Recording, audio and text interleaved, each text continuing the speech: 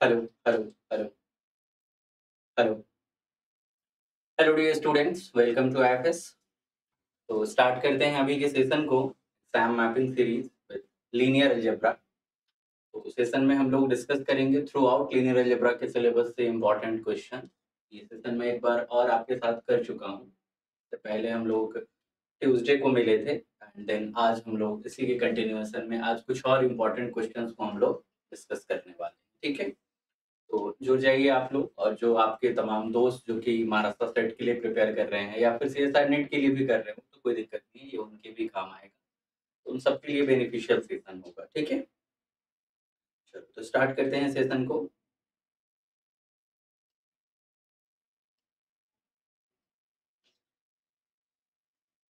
भाग्यश्री हो गई है क्लास स्टार्ट हो गई है, ठीक है? First question is the determinant of the given matrix is either zero और माइनस नाइन और माइनस ट्वेंटी सेवन और वन क्या होगा? तो इस मैट्रिक्स के डिटर्मिनेंट के लिए एक तरीका तो ये हो सकता है कि आप एक एक एलिमेंट को पिक करके पूरा डिटर्मिनेंट ओपन करके सॉल्व करिए। दूसरा तरीका क्या हो सकता है कि आप रो रिडक्शन करें या कॉलम रिडक्शन करें, है ना? सिंपली एलिमेंट्री ट्रांसफॉर्मेशन लगाएँ। और मैट्रिक्स को एक ऐसे फॉर्मेट में ले जाए जहाँ से कि आप डिटर्मिनेंट आसानी से निकाल पा रहे हो लाइक ब्लॉक डायगोनल का फॉर्मेट ले लिया कुछ भी। या फिर एक तरीका ये हो सकता है कि आप मैट्रिक्स को देखकर ऑब्ज़र्व करें कि ये किस तरह के स्पेशल टाइप ऑफ़ मैट्रिक्स के हेल्प से कंस्ट्रक्ट हुआ है। स्पेशल टाइप ऑफ़ मैट्रिक्स मतलब आइडेम्पोटेंट से रिलेशन है इसका कुछ, या निलपोटेंट से रिलेशन है, या इन्वॉल्यूटरी से रिलेशन है। इस तरह का कुछ अगर आपको विजुअलाइज होता है तो वो देखिए फिर आप, ठीक है? तो इसमें कई तरीके हैं चेक करने के। अनीता क्या कह रही है? Answer Shri Priyanka also C ठीक है। तो इस मैट्रिक्स को अगर हम गौर से देखेंगे तो हमें क्या पता चलेगा कि ये आइडेंटिटी मैट्रिक्स है, ये कितना है? सिक्स क्रॉस सिक्स मैट्रिक्स है। तो ये six cross six identity matrix है और प्लस टू इंटू ये जो मैट्रिक्स है, इसके नॉन प्रिंसिपल डायगोनल एंट्री क्या हो जाएँगी? वन है ना? One two three four five six time हाँ? यहाँ ज़ीरो यहाँ ज़ीरो और ये सिक्स क्रॉस सिक्स मैट्रिक्स है, ठीक है? तो अब डिटर्मिनेंट की बात की गई है, अगर मुझे इस स्ट्रक्चर का आइगन वैल्यू पता चल जाए तो उनका प्रोडक्ट डिटर्मिनेंट हो जाएगा, है ना? तो अब ये जो मैट्रिक्स है, इसे अगर मैं कुछ ए एज्यूम करूँ तो इस ए में स्पेशल क्या है? ये एक इन्वॉल्यूटरी मैट्रिक्स है A square is equals to I आ जाएगा, ठीक है? तो अब इन्वॉल्यूटरी मैट्रिक्स होने से स्पेशल क्या होगा यहाँ पे? कि आप यहाँ पे देख सकते हैं कि A square equal to I involutory matrix की प्रॉपर्टी है। तो यहीं से फिर आपको क्या मिल जाएगा? एनिलेटिंग पॉलिनोमियल क्या हो जाएगा? P of X is equals to X square minus one इसमें अगर मैट्रिक्स ए को हम पुट करते हैं तो फिर ये इसे सेटिस्फाई कर देगा, है ना? A square minus I which is equals to I minus I zero आ जाएगा। सुप्रभात, आकांक्षा। ठीक है। तो अब ए रिलेटिंग पोलिनोमियल मुझे मिल गया। तो अब यहाँ से हम मिनिमल पोलिनोमियल अगर आइडेंटिफाई करना चाहें तो एम में एक्स डिवाइड करेगा पी एक्स को। मिनिमल पोलिनोमियल हमेशा रिलेटिंग पोलिनोमियल को डिवाइड करता है। तो मिनिमल के लिए पॉसिबिलिटी क्या रहेंगी? एक्स माइनस वन या फिर एक्स प्लस वन या फिर एक्स स्क्वायर माइनस वन ठीक है?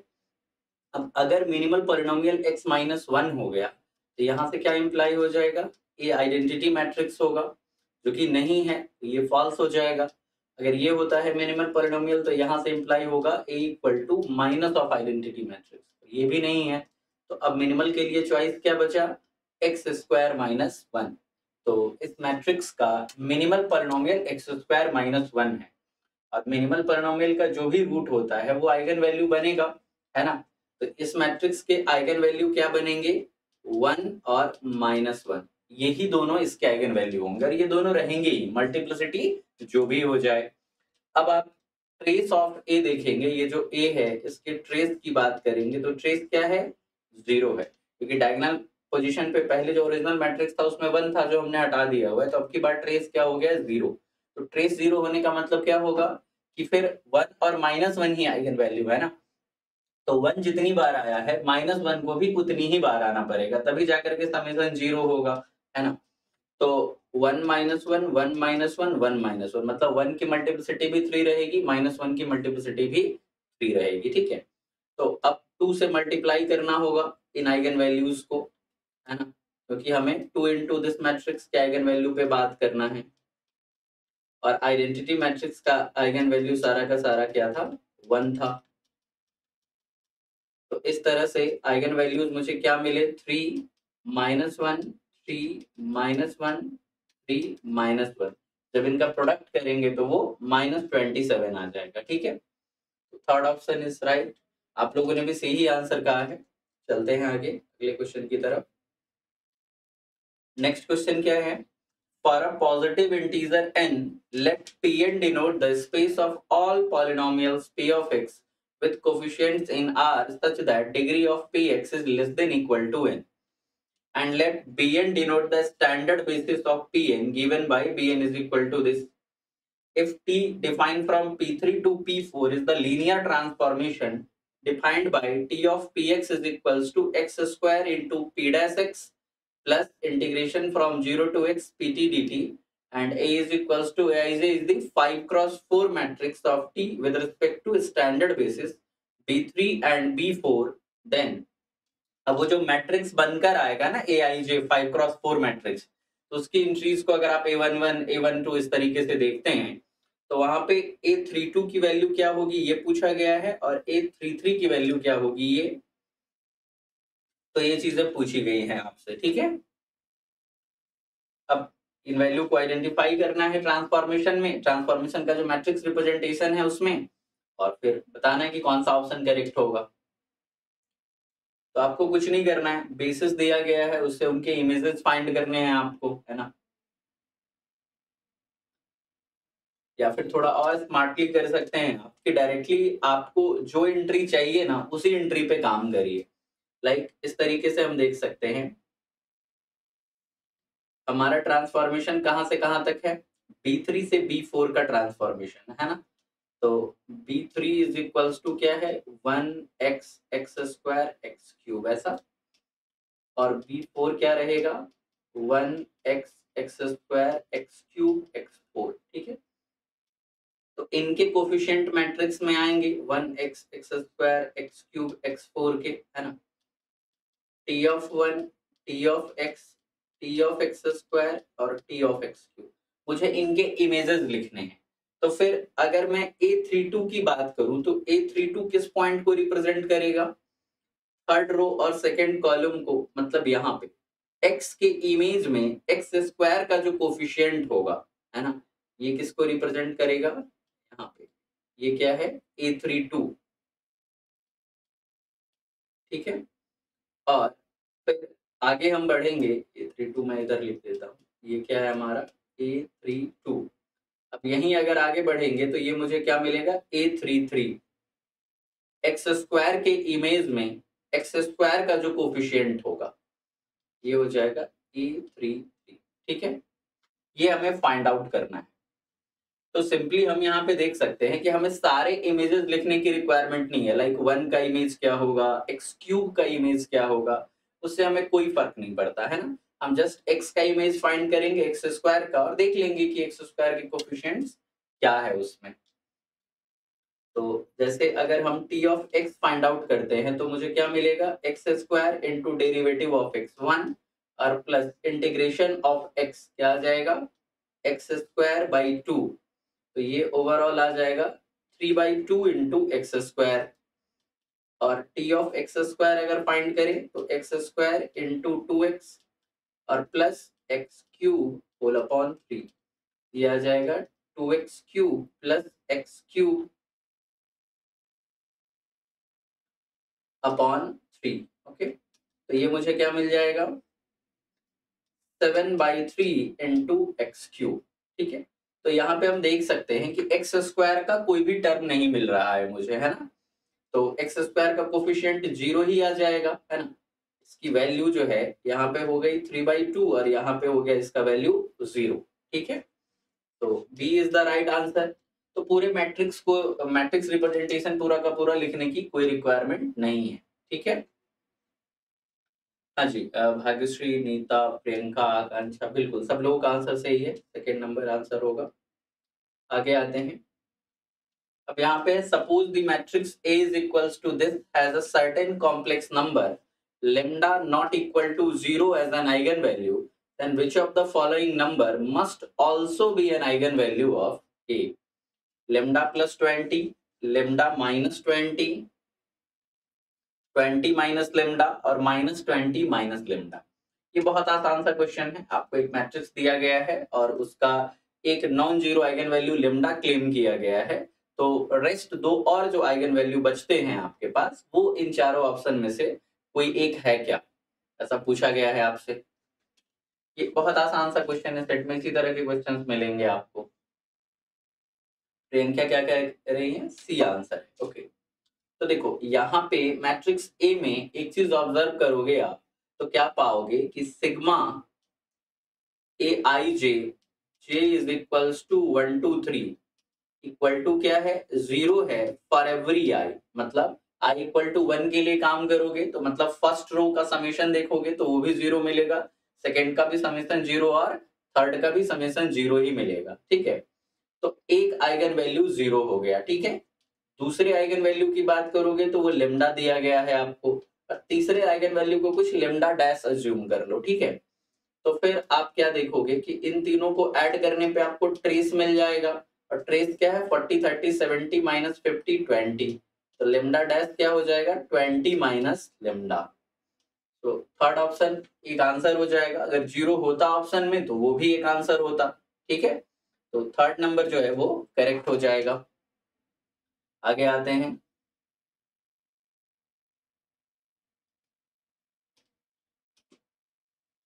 नेक्स्ट है। ए इज़ इक्वल्स टू एक मैट्रिक्स दिया गया है। Then the Jordan canonical form of A is जो मैट्रिक्स ए आपको दिया गया है, इसका जेसी फॉर्म इन चारों में से क्या होगा? अब मैट्रिक्स को देखिए दो तरीके हो सकते हैं यहाँ पे भी। यहाँ ए का आप आइगन वैल्यू निकालिए, फिर उसका एम जी एम वगैरह देखिए, है ना? और उसके हेल्प से आप जॉर्डन कैनोनिकल फॉर्म बनाइए।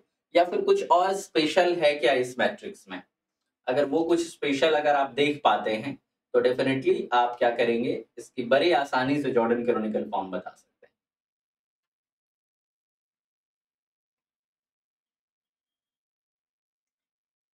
अगर हमारे पास किसी भी मैट्रिक्स का कैरेक्टरिस्टिक पॉलिनोमियल, साथ ही मिनिमल पॉलिनोमियल भी मिल जाए तो उनके जॉर्डन कैनोनिकल फॉर्म की पॉसिबिलिटी हम बड़े आराम से बता सकते हैं, है ना? तो कुछ स्पेशल है इस मैट्रिक्स में? इसे नीता क्या कह रही है? ये आंसर। कॉम्पेनियन मैट्रिक्स बहुत बढ़िया बहुत बढ़िया। वही स्पेशल है यहाँ पे। कॉम्पेनियन मैट्रिक्स अपने आप में क्या होता है? रैशनल कैनोनिकल फॉर्म होता है, ठीक है? मतलब अगर ए मैट्रिक्स जो है, वो अगर क्या रहे? कॉम्पेनियन मैट्रिक्स है तो इसका कैरेक्टरिस्टिक पॉलिनोमियल और मिनिमल पॉलिनोमियल ये दोनों क्या होते हैं? सेम होते हैं, ठीक है? तो यहाँ पे जब हम कंपेनियन मैट्रिक्स लाइक यहाँ पे अगर मुझे फोर क्रॉस फोर पे बात करनी है तो वैसे ही बात करते हैं। तो इसकी एंट्री कैसी होती है? Zero zero zero minus a naught फिर one zero zero minus a one फिर zero one zero minus a two zero zero one minus a three ठीक है? जहाँ पर कैरेक्टरिस्टिक पॉलिनोमियल क्या होगा? ये होगा x to the power four plus a three x cube plus a two x square plus a one x plus a naught ऐसा कुछ? बिल्कुल कॉम्पेनियन मैट्रिक्स ही है। तो यहाँ से कैरेक्टरिस्टिक पॉलिनोमियल की बात कर सकते हैं हम। तो यहाँ आप देख सकते हैं कि सारे कोफिशियंट्स को माइनस में रखना है मुझे, ठीक है? तो फाइव को माइनस ऑफ़ माइनस फाइव कर देते हैं। और ये माइनस फोर पहले ही से है। तो अभी वाले से केस में कैरेक्टरिस्टिक पॉलिनोमियल क्या हो जाएगा? एक्स फोर एक्स क्यूब का कोफिशियंट ज़ीरो है एक्स स्क्वायर का कोफिशियंट माइनस फाइव है तो माइनस फाइव एक्स स्क्वायर है ना? और साथ में फिर एक्स का कोफिशियंट ज़ीरो है, और ए नॉट क्या है? माइनस फोर है हमारे पास, ठीक है? सॉरी ए नॉट क्या है? फोर हो जाएगा हमारे पास। तो इस तरीके से आपका कैरेक्टरिस्टिक पॉलिनोमियल आ जाएगा, है ना? तो ये क्या होगा? यहाँ पे आप इसे लिख सकते हो x four minus four x square minus x square plus four अब यहाँ से एक्स स्क्वायर अगर कॉमन लेते हैं तो ये एक्स स्क्वायर माइनस फोर आ जाएगा वन कॉमन ले लेंगे तो ये एक्स स्क्वायर माइनस फोर तो मतलब x square minus one into x square minus four तो ये इसका कैरेक्टरिस्टिक पॉलिनोमियल हो गया। और यही मिनिमल पॉलिनोमियल भी हो जाएगा, है ना? तो इसे हम और ब्रेक कर सकते हैं, x minus one into x plus one into x minus two into x plus two ठीक है? तो ये मिनिमल पॉलिनोमियल भी है मैं equal to m A x भी लिख देता हूँ। तो आप देख सकते हो कि चार आइगन वैल्यू है, और चारों ही के कॉरेस्पॉन्डिंग मिनिमल परिनोमियल में जो फैक्टर है, वो क्या आए हैं? लीनियर आए हुए हैं, है ना? तो इसका क्या मतलब हुआ? ये इफ़ एंड ऑनली कंडीशन है मैट्रिक्स के डायगोनलाइज होने का। तो फिर जो जॉर्डन कैनोनिकल फॉर्म होगा उसमें हम क्या कर सकते हैं कि डायगोनल एंट्री पे आइगन वैल्यूज़ को रख करके बाकी एंट्री ज़ीरो रख सकते हैं। तो इसे आप लिख सकते हो one minus one two minus two ये भी एक रिप्रेजेंटेशन हो सकता है, लेकिन आप ऑप्शन में देखोगे तो वो नहीं है। तो कोई बात नहीं, आप आइगन वैल्यूज़ को अपने हिसाब से अरेंज कर सकते हो, है ना? Like minus one one two minus two तो ये एक जैसी फॉर्म हो जाएगा। और बाकी कोई भी रिप्रेजेंटेशन जो है, वो डायगोनल रिप्रेजेंटेशन नहीं बता रहा है। दूसरी बात की हर आइगन वैल्यू के करस्पॉन्डिंग वन क्रॉस वन ही ब्लॉक बनेगा ना तो ये रिप्रेजेंटेशन सिर्फ़ फ़र्स्ट ऑप्शन में ही है। ठीक है? बिल्कुल, आप लोगों का भी आंसर बिल्कुल सही है। आगे आते हैं। तो एम एस सेट के लिए जो एक्सक्लूसिव टेस्ट सीरीज़ है, अगर आप लोगों ने नहीं परचेज किया है तो आप उसे कर सकते हैं। ओनली 199 की प्राइस पे अवेलेबल है। आपको coupon code I thirty use करना होगा। वहीं अगर किसी को लेक्चर सीरीज़ चाहिए, किसी टॉपिक को फटाफट से रिवाइज कर लेने के लिए वन एक्स टू एक्स के स्पीड पे, वो लेक्चर सीरीज़ ले सकते हैं। उनके लिए लेक्चर सीरीज़ भी अवेलेबल है। उसके अलावा जो मॉक टेस्ट है, वो ट्वेंटी सेकेंड ऑफ़ मार्च से ही स्टार्ट हो गया है एट ए एम से, सुबह आठ बजे से बाईस मार्च से बच्चों ने मॉक टेस्ट अटेम्प्ट करना स्टार्ट कर दिया है। तो आप भी ट्राई कर सकते हैं। कोई भी मॉक टेस्ट अगर आपको देते हैं तो उससे एक एग्जामिनेशन जैसा माहौल आपको मिलता है है ना? विद इन टाइम में विद इन प्रेशर आप अपना परफॉर्मेंस चेक करते हैं वहाँ पे।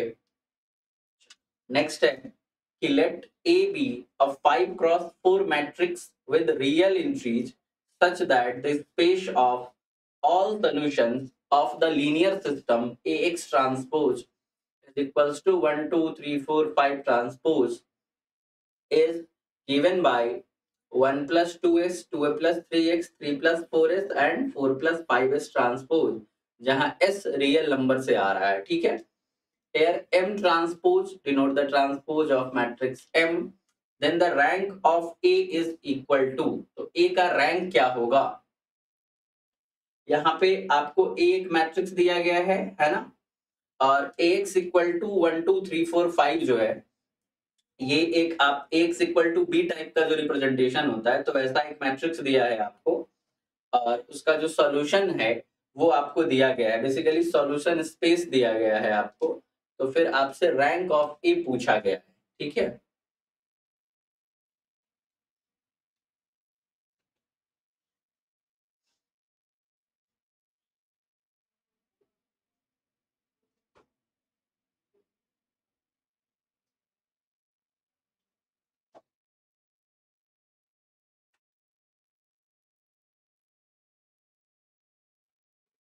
क्या होगा आंसर इसका?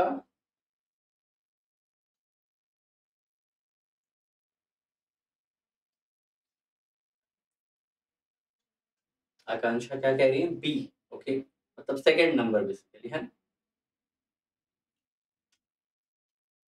यहाँ पे सबसे पहला काम क्या है? रैंक निकालने के लिए आपको जो आपको सॉल्यूशन दिया गया है, उसमें एल आई सोल्यूशन कितने हैं, ये आपको निकालना होगा, ठीक है? Number of Li solution of ax equal to b ये किसके इक्वल होगा? यहाँ पे मैट्रिक्स फाइव क्रॉस फोर है है ना? तो अगर वैसे एक, ये जो ए मैट्रिक्स है, उसको अगर ट्रांसफॉर्मेशन की नज़र से देखोगे तो ये क्या होगा? फोर डायमेंशन के स्पेस से फाइव डायमेंशन के स्पेस का ट्रांसफॉर्मेशन तो ये क्या हो जाएगा? Four minus rank of A plus one ऐसा कुछ? तो number of L I solution कितने होंगे? तो यहाँ पे आप देखो कि एल आई वैक्टर्स कितने मिलते हैं आपको। तो एक तो आप एस को ज़ीरो पुट कर दोगे तो आपको one two three four five वहाँ पे ये मिलेगा। उसके बाद फिर एस की एंट्रीज को जब आप चेंज करोगे तो आपको पता चलेगा कि यहाँ पे दो लीनियरली इंडिपेंडेंट वेक्टर आपको मिलने वाले हैं, ठीक है? तो two is equals to four minus rank of A plus one तो यहाँ से rank of A equal to क्या आ जाएगा आपके पास? Four minus two plus one तो ये आ जाएगा two plus one which is equals to three तो यहाँ से ए का रैंक आपको क्या मिल जाएगा? थ्री मिल जाएगा। ठीक है? चलो तो फिर ये सिस्टम ऑफ़ इक्वेशन का क्वेश्चन था। आगे आते हैं।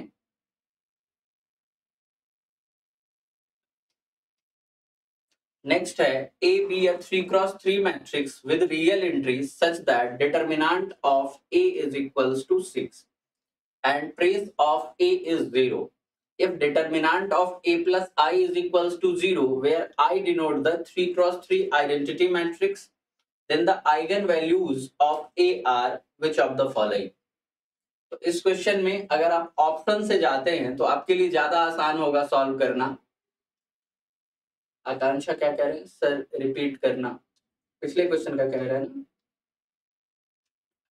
देखो, यहाँ पे मैं कह रहा हूँ कि आप एस को ज़ीरो पुट करते हो ना एस आपका रियल नंबर है ना तो एस को जब आप ज़ीरो पुट कर दोगे तो आपको एक वन टू यहाँ से वन यहाँ से टू यहाँ से थ्री यहाँ से फोर यहाँ से सॉरी यहाँ से आपको वन यहाँ से टू यहाँ से थ्री और यहाँ से फोर मिलेगा। एक्स इक्वल टू बी जो आपको दिया गया है तो एस को ज़ीरो पुट करने पे यहाँ से आपको चार एंट्री आपको मिल जाएँगी, है ना? यहाँ वन टू थ्री फोर वो एक टपल की तरह मतलब फोर टपल की तरह बिहेव करेगा, है ना? उसके अलावा एस को आप कोई भी एक नॉन ज़ीरो एंट्री रख लो और उससे फिर एक फोर टपल आपको मिलेगा, ठीक है? तो ये दो फोर टपल आपको मिलेंगे जो कि एल होंगे। अब इसके अलावे मेरा क्लेम है कि एस को बाकी कोई भी मतलब जैसे मान लीजिए कि ज़ीरो एक बार रख दिया मैंने तो मुझे क्या मिला? वन टू थ्री फोर ये मिल गया फोर टपल और सिंप्लिसिटी के लिए कोई एक real number like one put कर दिया इसकी जगह पे तो वहाँ पे मुझे मिल जाएगा one plus two three two plus three five three plus four seven and four plus five nine ठीक है? तो इस सेट में यही दो वेक्टर आपको फिर एल मिलेंगे। मतलब यही दो एलआई का सेंस क्या है कि अब और कोई भी वेक्टर आपको मिले ना तो आप उसे इन दोनों के लीनियर कॉम्बिनेशन में हमेशा ही दिखा पाओगे, ठीक है? तो मतलब एल आई सोल्यूशन यहाँ से कितने मिलेंगे? दो मिलेंगे आपको। ये मैं क्लेम कर रहा था। और इसे काउंट करने का जो फॉर्मूला है, वो होता है फोर अब फोर यहाँ पे किसको रिप्रेजेंट करता है? तो ए को ट्रांसफॉर्मेशन की तरह देखोगे, या ए अगर एम क्रॉस एन मैट्रिक्स है आपका तो एन रहता है यहाँ पे, ठीक है? तो उसकी जगह फोर रखा minus rank of A plus one और ओवरऑल मैनिपुलेट करके हमने ए का रैंक फाइंड आउट कर लिया। गया ठीक है ना? चलो। ए हमारे पास थ्री क्रॉस थ्री मैट्रिक्स है with real entries determinant of A six है, और ट्रेस ऑफ़ ए ज़ीरो है, ठीक है? अब ए प्लस आई का डिटर्मिनेंट ज़ीरो है, जहाँ आई आइडेंटिटी मैट्रिक्स को रिप्रेजेंट कर रहा है तो ए के आइगन वैल्यूज़ क्या क्या होंगे? तो यहाँ पर अगर ऑप्शन से जाते हैं तो आपको काफ़ी बेनिफिट मिलेगा। फटाफट से सॉल्व कर पा रहे होंगे आप। जैसे कि देखो determinant of A plus I zero बोलने का क्या मतलब है? कि ए प्लस आई के पास तीन आइगन वैल्यू होंगी like lambda one lambda two lambda three तो यहाँ पे क्या हो जाएगा? ए के आइगन वैल्यूज़ की अगर हम बात करें तो ए का one of the eigen value क्या होना चाहिए? माइनस वन होना चाहिए, है कि नहीं? ए का एक आइगन वैल्यू माइनस वन होना चाहिए, तब जाकर के minus one plus one zero होगा, है ना? तो ए का एक वैल्यू आइगन वैल्यू आपको माइनस वन चाहिए ही चाहिए, ठीक है? तो माइनस वन जैसे कि यहाँ थर्ड में नहीं दिया गया है तो इसे आप डिस्कार्ड कर सकते हैं। उसके अलावा थोड़ा और भी कुछ कुछ है यहाँ पे, जैसे कि trace of A equal to zero है। तो आप ऑप्शन से वेरीफाई कर लो ट्रेस कहाँ पे ज़ीरो है। तो फोर्थ ऑप्शन में ट्रेस ज़ीरो है सेकेंड में ट्रेस ज़ीरो नहीं है, और फ़र्स्ट में भी ट्रेस ज़ीरो नहीं है तो फिर फोर्थ ही आंसर हो जाएगा, है ना?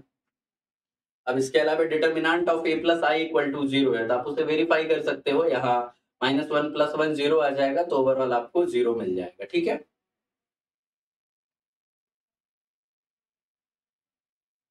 क्या कह रहे हैं सर राइट में प्लस वन क्यों है प्रीवियस में? तो उसके लिए तो फिर मुझे आपको प्रॉपर प्रूफ देना पड़ जाएगा। आकांक्षा?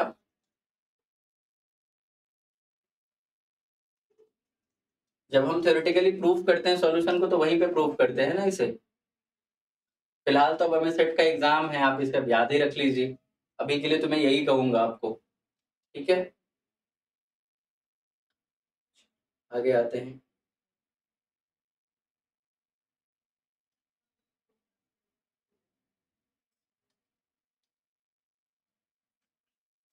चलो नेक्स्ट क्या है कि let n be a positive integer and let H n with space of all n cross n matrices A is equal to a i j with entries in R satisfying a i j is equal to a r s whenever i plus j is equal to r plus s और आई जे R S ये लोग one से लेके N तक very कर रहे हैं। Then the dimension of H n as a vector space over R is तो एच एन का डायमेंशन क्या होगा? As a vector space n square होगा क्या? या n square minus n plus one होगा?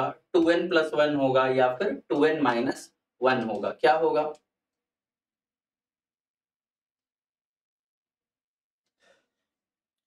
एच एन क्या है? Space of all n cross n matrices A equal to a i j with entries in R satisfying a i j is equals to a r s जहाँ पर कि i plus j equal to r plus s हो रहा ठीक है? तो देखो आई plus जे और आर प्लस एस अगर बराबर हो रहे हैं तो एंट्री बराबर हो जा रही है। तो मतलब जो सफिक्सेस है ना, उनका समेशन कितनी अलग अलग वेराइटी का हो सकता है। उतनी ही अलग अलग इंडिपेंडेंट एंट्रीज हमारे पास हो सकती हैं, है ना? तो आपको बस आपको चेक ये करना है कि आई और जे का समेशन क्या क्या हो सकता है। और वहीं से आंसर आ जाएगा आपका। आई और जे का समीशन क्या क्या हो सकता है? जैसे कि आप कोई एन क्रॉस एन मैट्रिक्स बनाते हैं तो यहाँ आप ए वन वन से तो शुरू ही करते हैं तो आई की मिनिमम वैल्यू वन है और जे की मिनिमम वैल्यू वन है है ना? जब मैं आई प्लस जे की बात करूँगा तो minimum value of i plus j क्या हो जाएगा? आई की मिनिमम वैल्यू और प्लस जे की मिनिमम वैल्यू तो वो टू मिलेगा और maximum of i plus j मुझे क्या मिलेगा? तो जब मैं दोनों के मैक्सिमम को ऐड करूँगा तो ये भी एन ये भी एन तो क्या हो जाएगा? टू एन हो जाएगा, ठीक है? मतलब मुझे जो समेसन है आई प्लस जे वो कहाँ से कहाँ तक मिल सकता है? टू मिल सकता है थ्री मिल सकता है फोर एंड ये टू एन तक मिलेगा मुझे। तो ओवरऑल वेराइटी कितनी हुई कितने अलग अलग तरह का समेसन मुझे मिल रहा है two n minus one type का अलग अलग टाइप के समेसन मिल सकते हैं। तो टू समेसन के लिए एक आर्बिट्ररी एंट्री आप रख सकते हैं थ्री समेसन के लिए एक आर्बिट्ररी एंट्री रख सकते हैं। तो इसी तरह से two n minus one distinct summation के लिए आप two n minus one arbitrary entries रख सकते हैं, है ना? तो वहाँ से क्या हो जाएगा, जो स्पेस आपका बनेगा, वो two n minus one dimension का बन जाएगा। ठीक है? इज़ द राइट आंसर सही है। आकांक्षा, भाग्यश्री था सबका सही। ठीक है? आगे आते हैं। यहाँ पे बोला है consider quadratic form q x y z equal to four x square plus y square minus z square plus four x y minus two x z minus y z over R then which of the following statement about the range of value taken by q as x y z vary over R R true range contains close interval one to infinity मतलब range जो इसका है वो close one से open infinity को contain करेगा। Second है range is contained in close zero to open infinity मतलब रेंज खुद कंटेन हो जाएगा इसमें। फिर कह रहा है रेंज पूरा रियल नंबर होगा और कह रहा है range is contained in close interval minus n to infinity for some large natural number and depending on q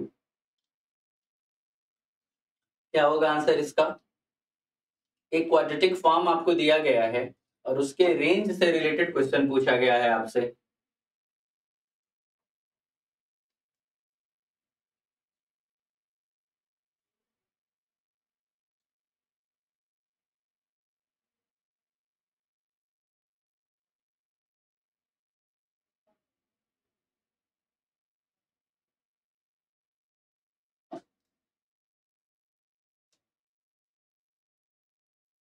आकांक्षा, क्या करें सर, उसको हम रैंक नलिटी थ्योरम से भी कर सकते हैं। देखो रैंक नलिटी थ्योरम से जब आप करोगे तो एक्चुअली वहीं पे उसका प्रूफ भी छुपा हुआ है। जैसे लाइक देखो ए क्या है आपका? Four five cross four matrix था, ठीक है? तो देखो, मैं A x equal to b की बात करता हूँ। तो A five cross four matrix है तो अगर मैं इसे ट्रांसफॉर्मेशन की नज़र से देखूँ तो क्या हो जाएगा? ये एफ़ फोर से एफ़ फाइव का ट्रांसफॉर्मेशन होगा, ठीक है? तो अगर मैं T of x equal to zero की बात करता हूँ तो T of x equal to zero की बात करेंगे तो वहाँ से इन एक्सेस का जो कलेक्शन होगा, है ना? मतलब वो x operate T x equal to zero basically x equal to zero को रिप्रेजेंट कर रहा होगा, है ना? तो यहाँ से जो नलिटी आएगी, वो ये जो ज़ीरो सॉल्यूशन मुझे मिलना होता है ना, उसके लिए कितने डायमेंशन का स्पेस बन रहा है, वो बता रहा होगा, ठीक है? हमें non zero solution x equal to b की बात करनी है, जहाँ बी आपका नॉन ज़ीरो दिया हुआ था।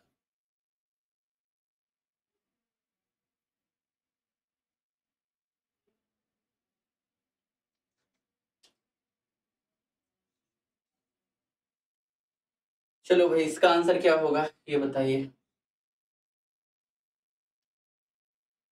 क्या लग रहा है इसके रेंज के बारे में? देखो, एक तरीका तो क्वाड्रेटिक फॉर्म आपको दिया गया है तो उसको सॉल्व करने का क्या होगा कि इसका मैट्रिक्स रिप्रेजेंटेशन बनाइए अगर वो सिमेट्रिक मैट्रिक्स है तो उनके आइगन वैल्यूज़ के बिहाफ पे आप बात कर सकते हैं कि अगर आपके पास एक पॉजिटिव आइगन वैल्यू है तो सारा positive real number including zero आपके रेंज में आ जाएगा। ठीक है? अब अगर निगेटिव आइगन वैल्यू अगर आपके पास है तो सारा negative real number including zero आपके रेंज में आ जाएगा। इस तरीके से हम बात कर सकते हैं। बट क्वाड्रेटिक फॉर्म क्या होता है? बेसिकली एक फ़ंक्शन ही तो है है ना? क्वाड्रेटिक फॉर्म क्या है? एक फ़ंक्शन ही है। जैसे क्यू है, आप इसको क्या कह सकते हैं? आर थ्री से आर का फ़ंक्शन है। कुछ ऐसा R cross R cross R से आर का फ़ंक्शन है। इसके रेंज के बारे में बात करनी है है ना? तो हम सिंपली भी बात कर सकते हैं, जैसे कि अगर q of x y z है ना लाइक ज़ीरो वाई ज़ीरो का इमेज अगर मैं फाइंड करूँ तो मुझे क्या मिलेगा? एक्स और जेड को मैंने ज़ीरो पुट कर लिया है तो इक्वल टू यहाँ पे वाई स्क्वायर मिल जाएगा और बाकी एक्स और जेड ज़ीरो पुट करने की वजह से सारे टर्म ज़ीरो हो जाएँगे, ठीक है? तो यहाँ पे limit y tending to infinity क्या हो जाएगा? ये कहाँ चला जाएगा? इंफिनिटी को अप्रोच करने लग जाएगा। है ना? अब माइनस इंफिनिटी ले जाओ प्लस इंफिनिटी ले जाओ मैटर नहीं करेगा। ये इंफिनिटी को जाने लग रहा होगा। फिर वहीं अगर आप q of zero zero z की बात करो तो फिर आपको क्या मिलेगा? आपको माइनस जेड स्क्वायर मिलेगा। यहाँ भी ज़ीरो यहाँ भी ज़ीरो यहाँ भी ज़ीरो ठीक है? तो जब यहाँ पे limit z tending to infinity या फिर z tending to minus infinity कुछ भी करो, ये कहाँ जाने लग रहा होगा? माइनस इंफिनिटी को जाने लग रहा होगा, ठीक है? तो इससे मुझे क्या पता चलता है कि रेंज जो है, वो क्या हो जाएगा? रेंज ऑफ़ क्यू जो है, वो पूरा का पूरा सेट ऑफ़ रियल नंबर आ जाएगा, ठीक है? क्योंकि इसके थ्रू हम क्या कर सकते हैं? पूरे positive real number including zero को अटेन कर सकते हैं। इसके through negative real number including zero को अटेन कर सकते हैं, है ना? तो इस तरह से रेंज पूरा का पूरा सेट ऑफ़ रियल नंबर आ जाएगा यहाँ से, ठीक है? तो range contains close interval one to infinity तो ऑब्वियसली ना रेंज तो इसको कंटेन करेगा ही करेगा, ठीक है? फिर है कि रेंज खुद कंटेन है क्लोज ज़ीरो से ओपन इंफिनिटी में तो ऐसा बिल्कुल नहीं है। थर्ड वन है कि range is equals to whole real number बिल्कुल सही।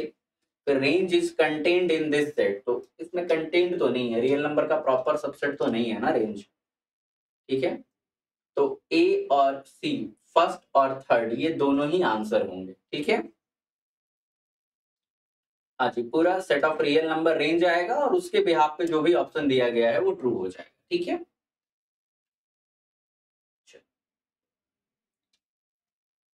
प्रणव फ़र्स्ट और थर्ड दोनों आंसर हो जाएँगे ना? अगर रेंज इक्वल टू आर है है ना? हाँ। अगर आप ये कह सकते हो कि अगर ये सिंगल करेक्ट हो ना, और मोस्ट अप्रोप्रिएट आंसर मुझे देना हो तो डेफिनेटली थर्ड नंबर जो है वो मोस्ट अप्रोप्रिएट हो जाएगा। ठीक है? आगे आते हैं। नेक्स्ट है। Consider a matrix A is equals to a i j n cross n with entries with integer entries actually, such that aij is equals to 0 for i greater than j and aii equal to 1 for i equal to 1 to n then which of the following properties must be true about this matrix ठीक है और इस matrix को discuss करते वक्त आपको ये ध्यान रखना है कि n greater than equal to two पे हमें बात करनी है ठीक है a inverse exists and it has integer entries A inverse exists and it has some entries that are not integers. A inverse is a polynomial function of A with integer coefficients. A inverse is not a power of A unless A is the identity matrix. ठीक है तो आप n greater than equal to पे बात करेंगे यहाँ पे matrix की वैरायटी दी गई है कि इसके इंट्रीज कैसी हैं a i j equal to zero है for i greater than j के लिए, है ना? आई ग्रेटर देन जे कहाँ होता है? देखो आप, ये अगर एन क्रॉस एन मैट्रिक्स है, ये ए वन वन यहाँ पे मैं लिखूँगा ए वन टू और यहाँ लिखूँगा ए टू वन तो आप बड़े आराम से देख सकते हो कि आई ग्रेटर देन जे कहाँ होता है? लोअर डायगनल पार्ट में, है ना?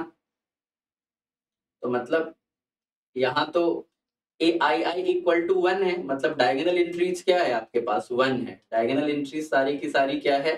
वन है लोअर पार्ट में ज़ीरो है ना और इधर जो ए आई जे दिया गया है, उसके बारे में ये इंफॉर्मेशन है कि ये बिलोंग करता है इंटीजर से।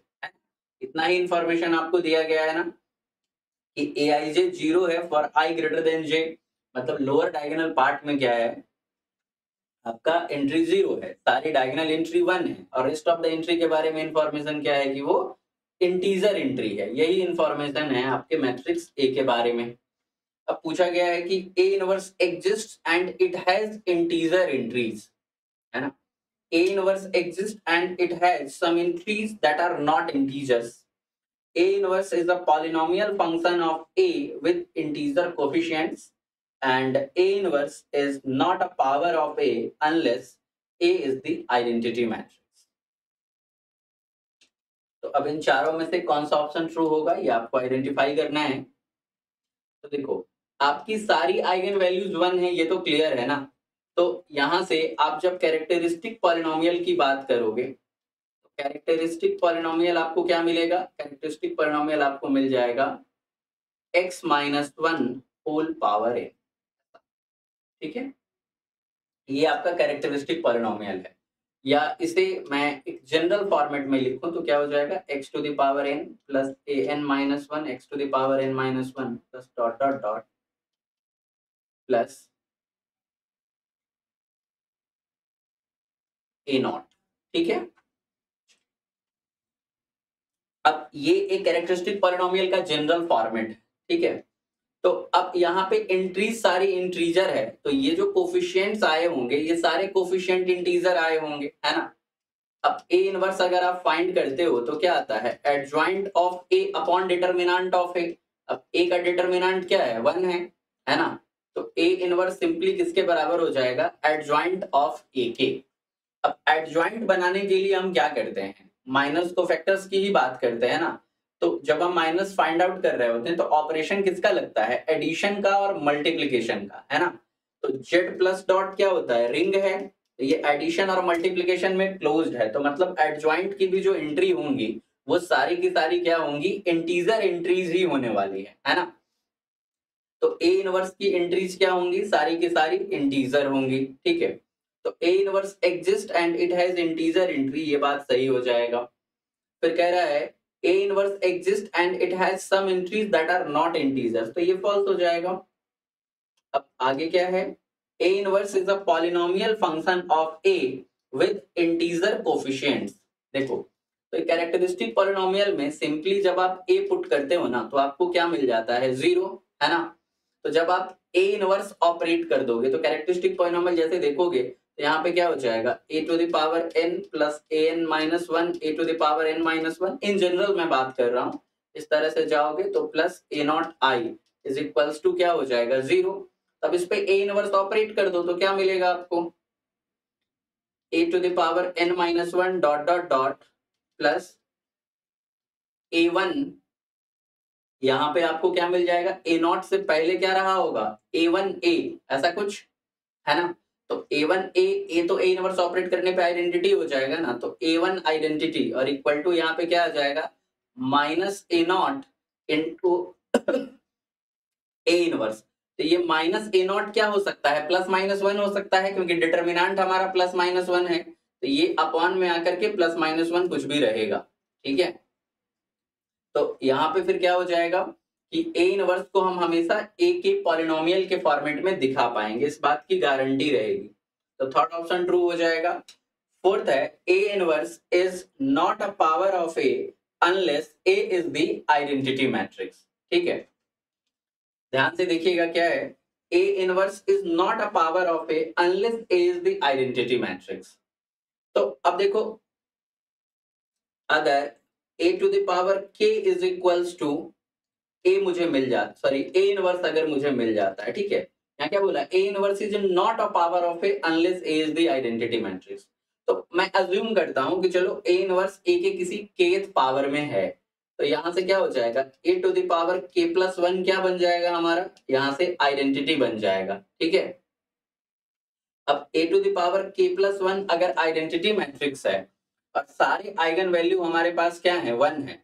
तो वहाँ से फिर क्या आ जाएगा कि फिर ए को आइडेंटिटी मैट्रिक्स ही बनना पड़ेगा, ठीक है?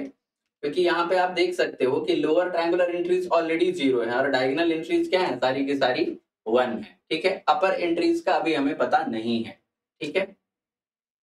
तो A inverse is not a power of A unless A is the identity matrix तो ये फॉल्स हो जाएगा। तो फ़र्स्ट और थर्ड ये दोनों ऑप्शन जो है, वो करेक्ट होंगे, बाकी सेकेंड फोर्थ फॉल्स हो जाएगा, ठीक है?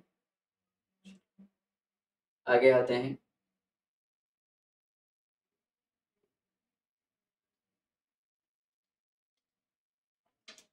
नेक्स्ट है let J be the three cross three matrix all of whose entries are one then zero and three are the only eigen values of A J is positive semi-definite. That is inner product of Jx and x is greater than equal to 0 for all x belongs to R3. J is diagonalizable and J is positive definite. That is inner product of Jx and x is greater than 0 for all x belongs to R3 with x non-zero. ठीक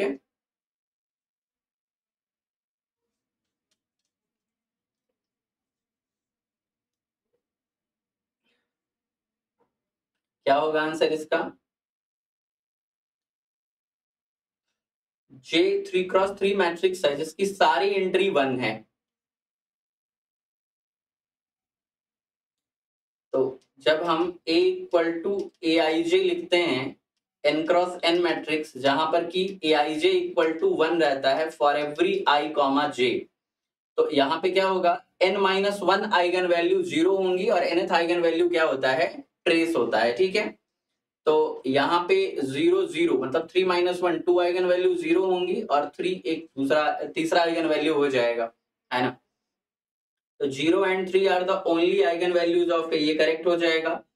J is positive semi definite तो देखो, आप इसका matrix representation देखोगे तो क्या मिलेगा? ये एक सिमेट्रिक मैट्रिक्स ही है ना? One one one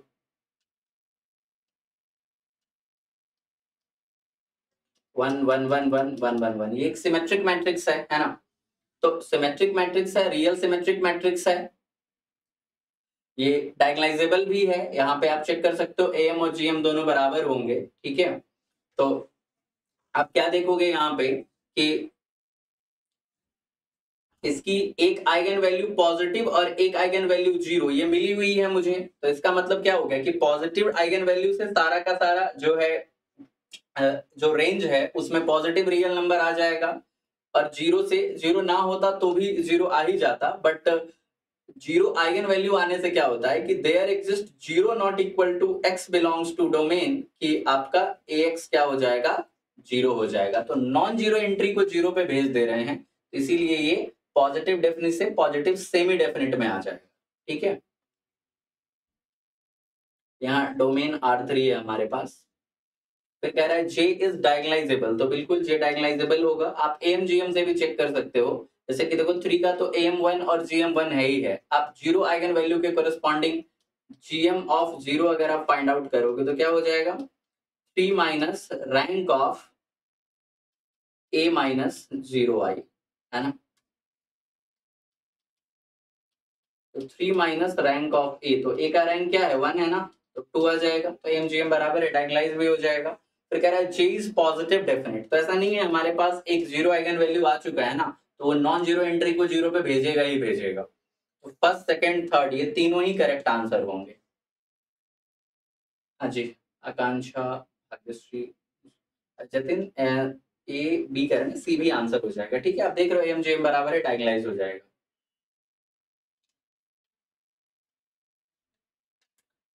आगे आते हैं।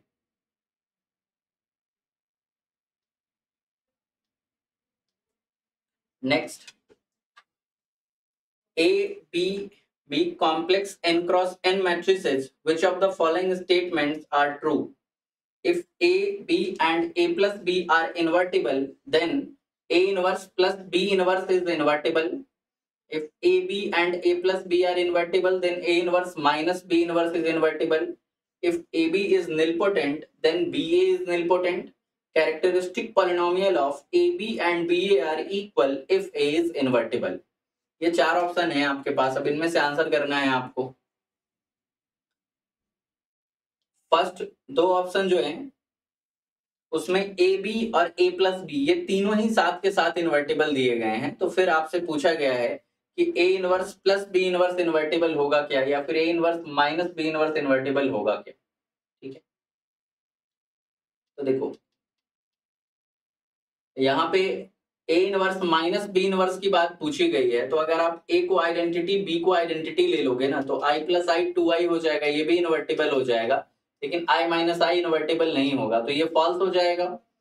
फ़र्स्ट ऑप्शन के लिए ए प्लस बी इन्वर्टेबल है तो अब अगर ये इन्वर्टेबल है तो इसमें ए इनवर्स लेफ़्ट से ऑपरेट कर दोगे तो भी ये इन्वर्टेबल रहेगा, है ना? बी इनवर्स राइट से ऑपरेट कर दोगे तो भी ये इन्वर्टेबल रहेगा बट ये किसके इक्वल हो जाएगा? B inverse plus A inverse है ना? मतलब A inverse plus B inverse के तो ये इन्वर्टेबल रहेगा। आगे है if A B is nilpotent then B A is nilpotent ठीक है? तो एक्चुअल में आप इसे दो तरीके से देख सकते हो। एक तरीका तो ये है कि ए बी निलपोटेंट है तो किसी एनथ पावर पे ज़ीरो हो रहा होगा, है ना?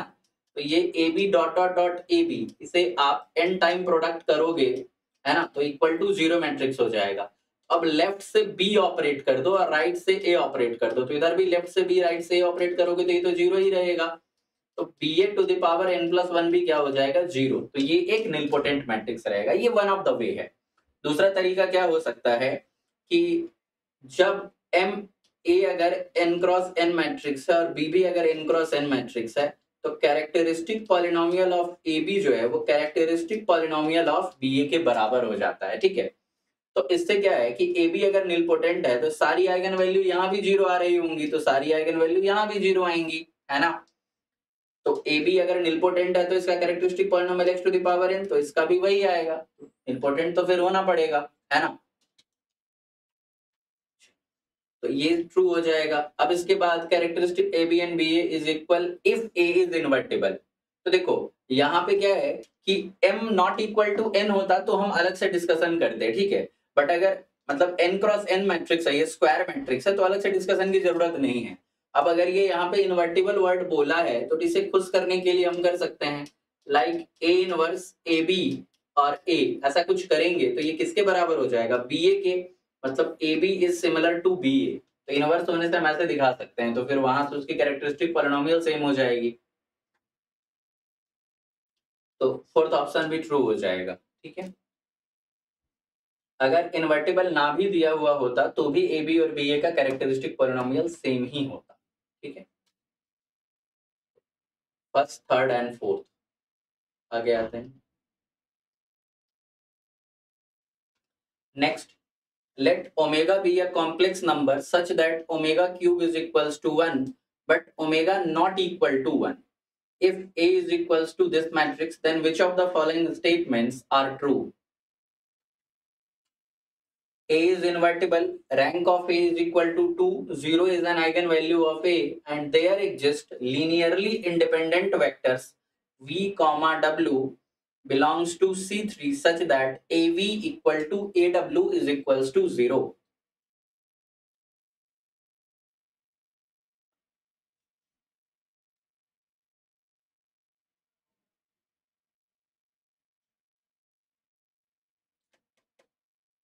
इस मैट्रिक्स के कोरिस्पॉन्डिंग इन्वर्टिबिलिटी रैंक की बात आइगन वैल्यू और आइगन वेक्टर की बात। फ़र्स्ट ऑप्शन में इन्वर्टिबल है यानी वो पूछा गया है सेकंड में रैंक है थर्ड में ज़ीरो आइगन वैल्यू होगा या नहीं? और चौथे में ज़ीरो के कोरिस्पॉन्डिंग मुझे दो एल आई आइगन वैक्टर कम से कम मिलेंगे या नहीं मिलेंगे? ये क्वेश्चन पूछा गया है, ठीक है? तो देखो, यहाँ पे सिग्मा ए आई जे अब आई ले लो जे ले लो, यहाँ पे अगर हम रो सम करते हैं, तब जाके वन ओमेगा ओमेगा स्क्वायर मिलेगा। तो फिर हम कॉलम सम नहीं करते, उससे कोई खास बेनिफिट नहीं मिलेगा रो सम करते हैं।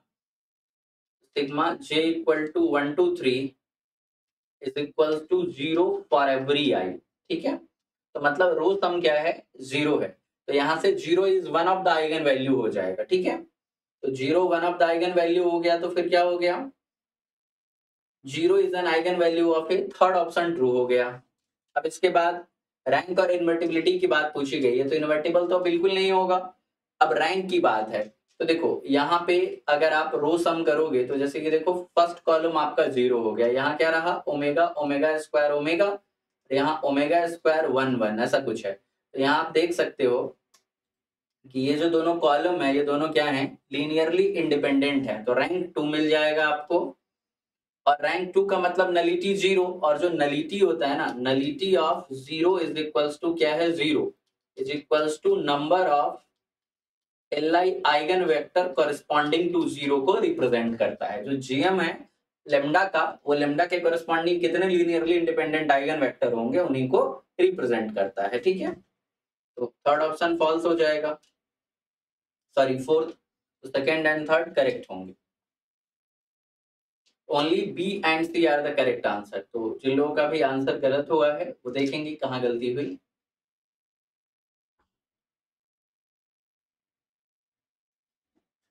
नेक्स्ट है let A be four cross four matrix with real entries such that minus one one two minus two are the eigen values A के चारों आइगन वैल्यू दे दिए गए हैं।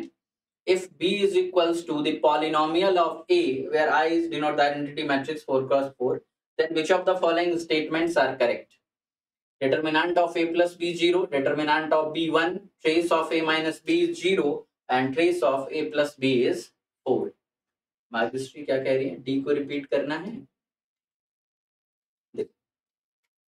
आपके मैट्रिक्स का रैंक कितना आया है टू है ना rank of A equal to two आया तो यहाँ से नलिटी ऑफ़ ए क्या आ जाएगा? वन आ जाएगा। तो जो नलिटी होती है ना मैट्रिक्स की, वो किसको रिप्रेजेंट करता है? जीएम ऑफ़ ज़ीरो ठीक है? ज़ीरो जो आइगन वैल्यू होता है, उसका जो ज्योमेट्रिक मल्टीप्लिसिटी होता है, वही क्या होता है? ए मैट्रिक्स की नलिटी होती है। ठीक है? और ये किसको रिप्रेजेंट करता है? Number of linearly independent eigen vector corresponding to zero basically किसी भी आइगन वैल्यू लेमडा का जो जीएम होता है, वो किसको रिप्रेजेंट करता है? लेमडा के करस्पॉन्डिंग कितने लीनियरली इंडिपेंडेंट आइगन वेक्टर्स होंगे? ठीक है? तो यहाँ पे जीएम वन है तो एक ही एल आई वैक्टर आएगा मतलब एक नॉन ज़ीरो वैक्टर आएगा, और बाकी सब उस पर डिपेंड कर रहे होंगे, ठीक है? तो यहाँ पे वी और डब्ल्यू दो एल आई नहीं मिलेंगे आपको, क्योंकि A v equal to zero का क्या मतलब है? A v equal to zero into v है ना? ए डब्ल्यू इक्वल टू क्या मतलब है? ज़ीरो इंटू डब्ल्यू ये ज़ीरो है equal x equal to lambda x type का। समझ आया ना? आगे आते हैं।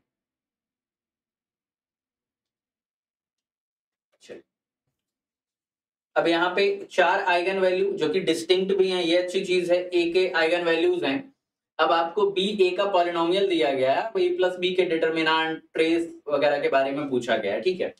तो हम डिटर्मिनेंट की बात करें या ट्रेस की बात करें, दोनों ही चीज़ अगर मुझे आइगन वैल्यू पता चल जाए तो उसके हेल्प से हम बड़े आराम से बता सकते हैं, है ना?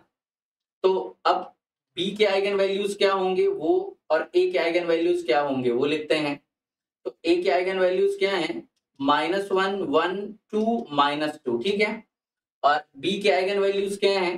तो बी के आइगन वैल्यू हो जाएँगे minus one to the power four into five into minus one square plus five ये क्या हो जाएगा? One minus five plus five. तो यहाँ से वन मिल जाएगा आपको, ठीक है? फिर उसके बाद one minus five minus four और प्लस फाइव, क्या हो जाएगा? ये भी वन हो जाएगा। अब इसके बाद अगर मैं टू पुट करता हूँ तो क्या आ जाएगा? सिक्सटीन माइनस ट्वेंटी और plus five. Sixteen five twenty, one minus twenty, ये वन आ जाएगा। और अगर माइनस टू पुट करें तो फिर भी मुझे लग रहा है वही आंसर आएगा, क्योंकि पावर तो इवन ही है हर जगह तो ये भी वन हो जाएगा।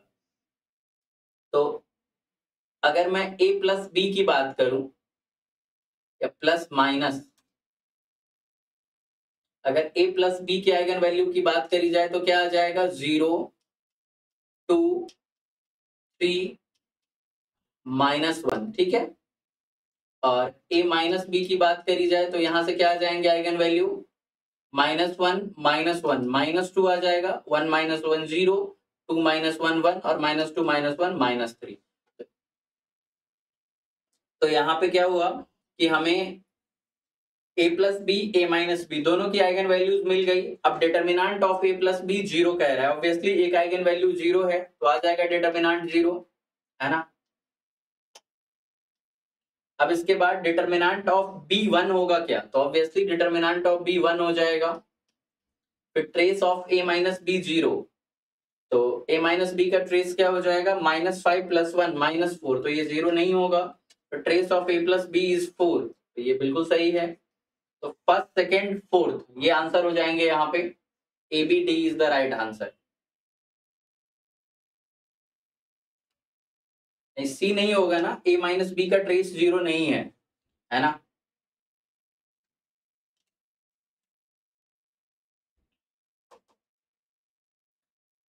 फिर आगे आते हैं।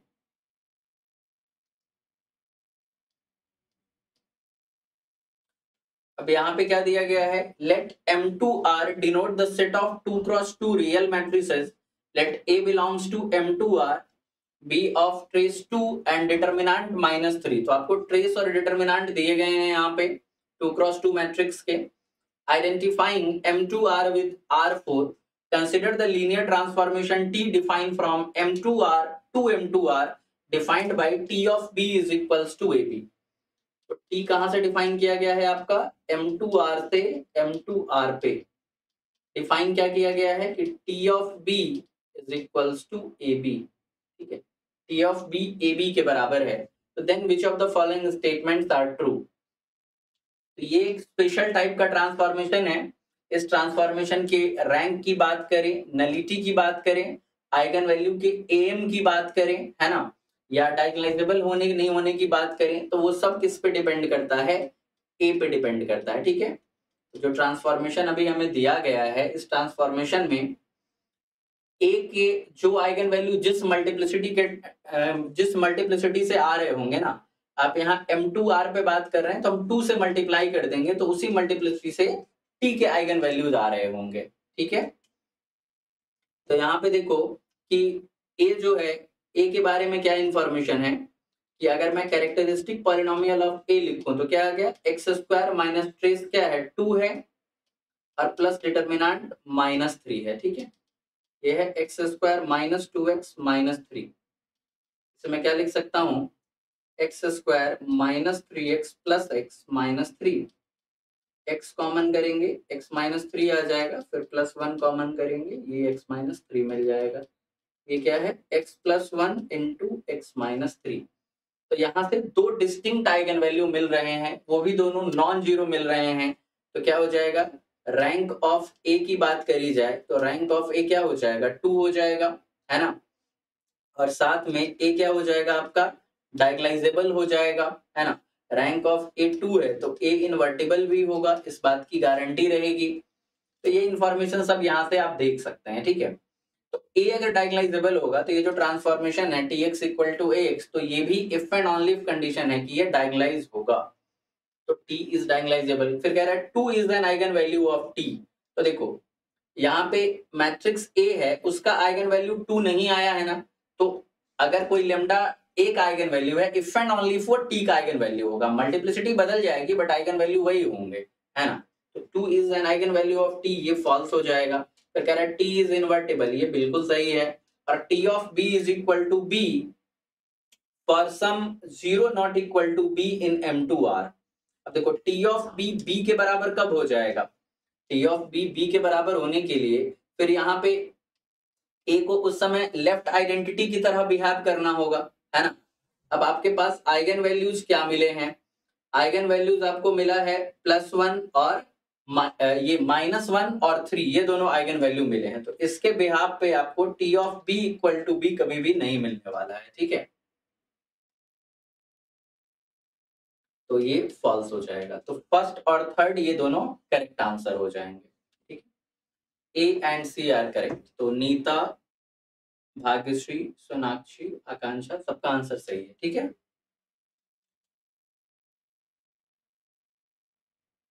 आगे आते हैं। Next let A be a two cross two non zero matrix with entries in C such that A square equal to zero which of the following statements must be true PA P inverse is diagonal for some invertible 2 cross 2 matrix P with entries in R.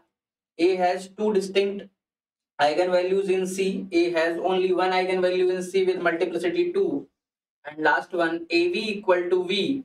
For some V belongs to C2, V non-zero. क्या बोलेंगे यहाँ पे A आपके पास two cross two non zero matrix है मतलब कम से कम एक entry तो नॉन ज़ीरो है वहाँ पे। और A square equal to zero दिया है। तो ए में कुछ स्पेशल क्वालिटी है। ए क्या है? नॉन नल निलपोटेंट मैट्रिक्स तो उन्हीं की प्रॉपर्टी के बारे में बात करनी है।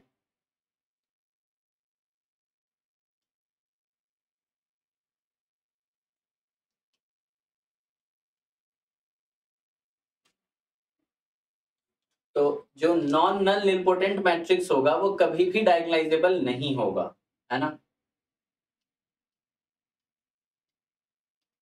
रीजन क्या है? कि कैरेक्टरिस्टिक पॉलिनोमियल आ जाएगा x square and minimal polynomial भी यहाँ पे एक्स स्क्वायर ही आएगा, ठीक है? तो मिनिमल लीनियर फैक्टर में नहीं है। तो ऐसा कोई पी नहीं मिलेगा कि P A P inverse diagonal हो जाए तो फ़र्स्ट फॉल्स हो जाएगा। फिर A has two distinct eigen values in C तो ये गलत है। A has only one eigen value with multiplicity two ये ट्रू होगा और A V equal to B अब देखो A V equal to B किसको रिप्रेजेंट करता है? A V equal to one into V को, ठीक है?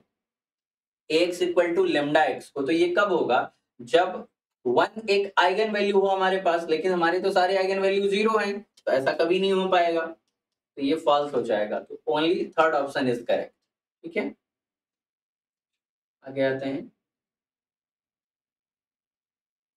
तो एम एस सेट के लिए जो टेस्ट सीरीज़ है, वो जिन लोगों ने अभी नहीं लिया है, वो परचेज कर सकते हैं ओनली वन डबल नाइन की प्राइस पे। Coupon code I F S thirty use करना है। वहीं मॉक टेस्ट जो है सॉरी जो एम एस सेट के लिए लेक्चर सीरीज़ है, जिन लोगों को एग्ज़ाम का टाइम तो बहुत कम बचा है बट किसी को कोई टॉपिक अगर फटाफट से रिवाइज करने के लिए चाहिए हो तो वो लेक्चर सीरीज़ ले सकते हैं।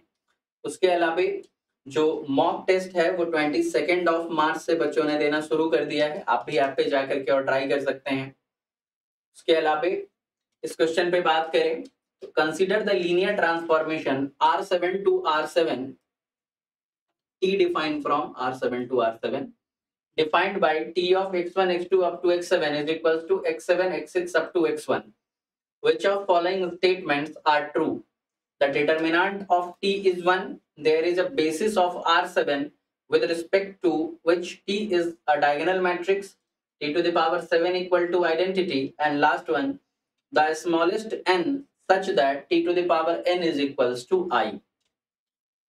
तो आपको बताना है इन चारों में से कौन सा ऑप्शन ट्रू होगा with respect to this transformation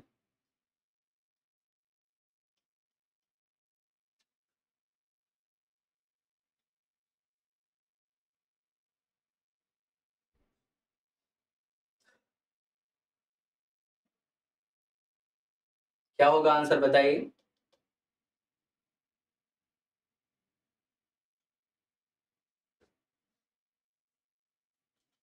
देखो, इस क्वेश्चन को भी आप चाहो तो दो अलग अलग तरीकों से कर सकते हो।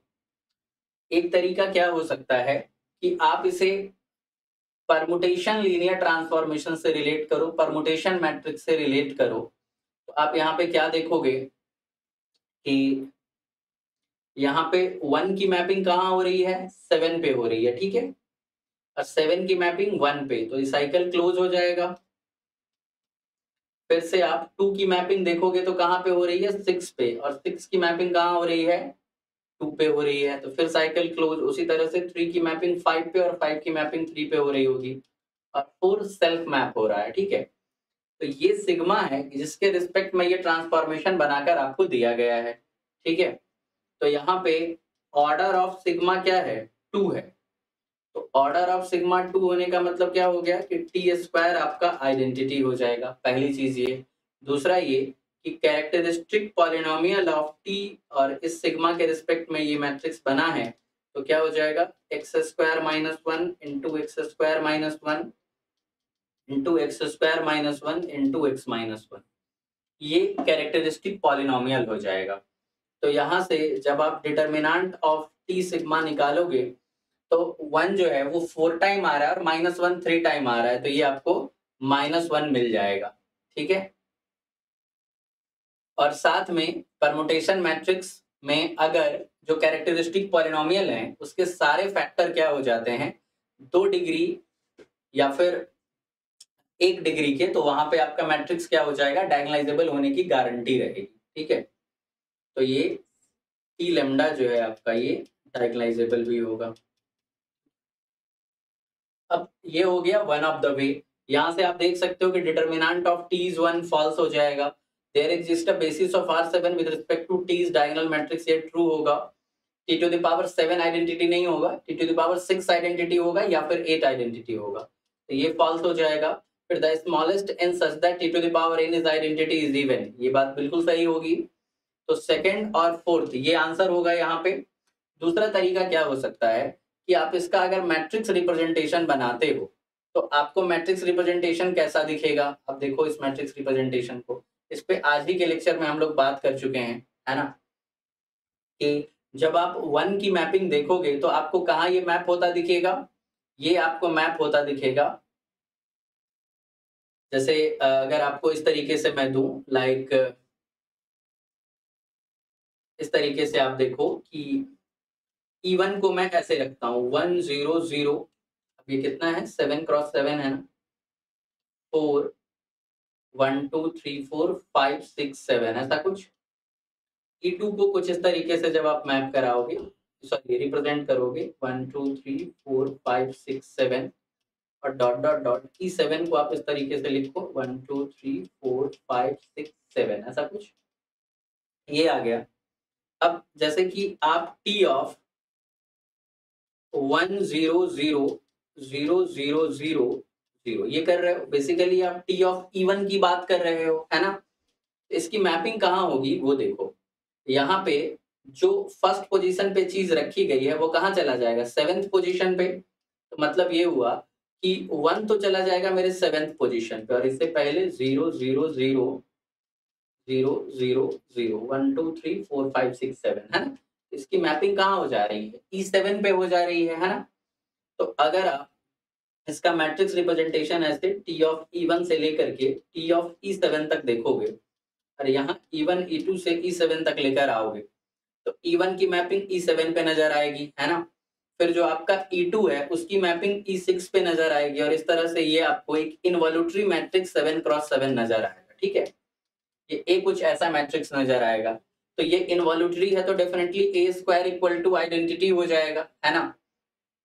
और साथ में यहाँ पे अगर मैं बात करूँ तो डिटर्मिनांट ऑफ़ ए के लिए जो एक जनरलाइज्ड फॉर्मूला है, वो क्या है? Minus one to the power greatest integer of N upon two तो जैसे सेवन है तो सेवन अपॉन टू तो ये क्या आ जाएगा?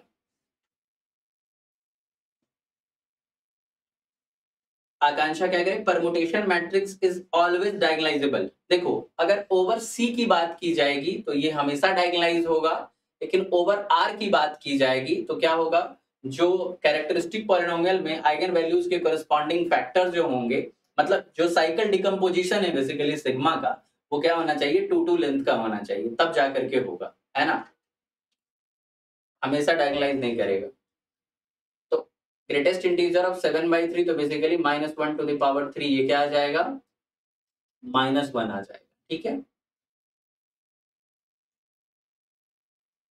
तो यहाँ से भी हम काफ़ी सारी बातें कह सकते हैं। अब इनवॉल्यूटरी मैट्रिक्स है, वो डायगोनलाइजेबल होगा over the field of real number या कॉम्प्लेक्स नंबर तो वो ट्रू हो जाएगा डिटर्मिनेंट वन नहीं हुआ T to the power seven identity नहीं होगा। तो ये सारी बातें आप बता सकते हो वैसे भी, ठीक है? आगे। नेक्स्ट है let lambda comma mu be distinct eigen values of a two cross two matrix A then which of the following statement must be true A square has distinct eigen value तो देखो question में information क्या दिया है कि ए एक to cross two matrix है और उसके पास दो डिस्टिंग आइगन वैल्यूज़ हैं, ठीक है? तो वहाँ से क्या ए स्क्वायर के पास भी डिस्टिंग आइगन वैल्यूज़ होंगे? फिर क्या हम ए क्यूब को कुछ इस तरीके से रिप्रेजेंट कर सकते हैं? In the polynomial of A और जहाँ पे कोफिशियंट क्या रखे गए हैं? लेमडा और म्यू से रिलेटेड है ना? फिर trace of A to the power N क्या हमेशा lambda to the power N plus mu to the power M होगा एन होगा? और A to the power N is not a scalar multiple of identity for any positive integer N ठीक है? तो one by one सारे options को देखते हैं। तो अगर मैं ए मैट्रिक्स कुछ इस तरीके से लेता हूँ one zero zero minus one ठीक है? तो यहाँ पे लेमडा और म्यू दो डिस्टिंक्ट आइगन वैल्यू हैं। तो अगर हम ए स्क्वायर डिफाइन करेंगे तो वन ज़ीरो ज़ीरो वन आ जाएगा। लेकिन ए स्क्वायर के आइगन वैल्यूज़ तो डिस्टिंक्ट नहीं है है ना? तो A square has distinct eigen value false हो जाएगा। साथ ही कह रहा है A to the power N is not a scalar multiple of identity for any positive integer N तो यहाँ आप देख सकते हैं कि ए स्क्वायर क्या है? आइडेंटिटी मैट्रिक्स ही आ गया है तो scalar multiple of identity matrix तो हो ही जाएगा। तो ये फॉल्स हो जाएगा क्योंकि कह रहा है it is not a scalar multiple of identity matrix ठीक है? फिर कह रहा है trace of A to the power N is lambda to the power N mu to the power N तो ए के आइगन वैल्यू अगर लेमडा और म्यू है तो obviously A to the power N के eigen value lambda to the power N और mu to the power N हो जाएगा, ठीक है? तो फिर थर्ड ऑप्शन तो बिल्कुल ही सही होने वाला है। अब बात करते हैं सेकेंड ऑप्शन की। तो सेकेंड ऑप्शन के लिए क्या है? लेमडा और म्यू आपको डिस्टिंक्ट आइगन वैल्यू यहाँ पर दिए गए हैं। तो कैरेक्टरिस्टिक पॉलिनोमियल ऑफ़ ए क्या आ जाएगा? X square minus lambda plus mu into X plus lambda into mu ये कैरेक्टरिस्टिक पॉलिनोमियल आ जाएगा, है ना? अब कैरेक्टरिस्टिक पॉलिनोमियल में अगर मैट्रिक्स को पुट करेंगे तो उसे सेटिस्फाई करेगा ना? ये क्या हो जाएगा? A square minus lambda plus mu into A plus lambda into mu characteristic polynomial satisfy करता है मतलब इक्वल टू ज़ीरो मुझे मिल रहा होगा, है ना? तो यहाँ से आप ए स्क्वायर की वैल्यू निकाल सकते हैं। ये क्या हो जाएगा? Lambda plus mu into A minus lambda mu यहाँ पे साथ में आइडेंटिटी मैट्रिक्स आ जाएगा, जब हम मैट्रिक्स के सेंस में बात करने लग जाते हैं तो है ना? ये नेगेटिव था तो राइट साइड में पॉजिटिव हो जाएगा और लेमडा म्यू की कोफिशिएंट हम यहाँ पॉजिटिव सेंस में रख रहे हैं तो इधर नेगेटिव आ जाएगा। प्रीवियस क्वेश्चन के ऑप्शन बी को रिपीट करना है, ठीक है, इसको कंप्लीट करके चलते हैं पिछले क्वेश्चन तो ए स्क्वायर को हमने कुछ इस तरीके से लिख दिया। तो अब मुझे अगर ए क्यूब के बारे में बात करना है, क्योंकि ए क्यूब का ही रिप्रेजेंटेशन पूछा गया है तो ये क्या हो जाएगा? Lambda plus mu into A square minus lambda mu A ऐसा कुछ? तो यहाँ पे क्या हो सकता है? मैं ए स्क्वायर की वैल्यू चाहूँ तो पुट कर सकता हूँ, है ना? तो ये आ जाएगा, यहाँ पे शायद आपको दिखने में प्रॉब्लम हो तो मैं इधर लिखता हूँ। A cube is equals to lambda plus mu और ए स्क्वायर की वैल्यू अगर पुट करेंगे तो क्या मिलेगा? Lambda plus mu into A minus lambda mu I ठीक है? ये पूरा आ जाएगा यहाँ पे। और यहाँ पे फिर क्या हो जाएगा साथ में? Plus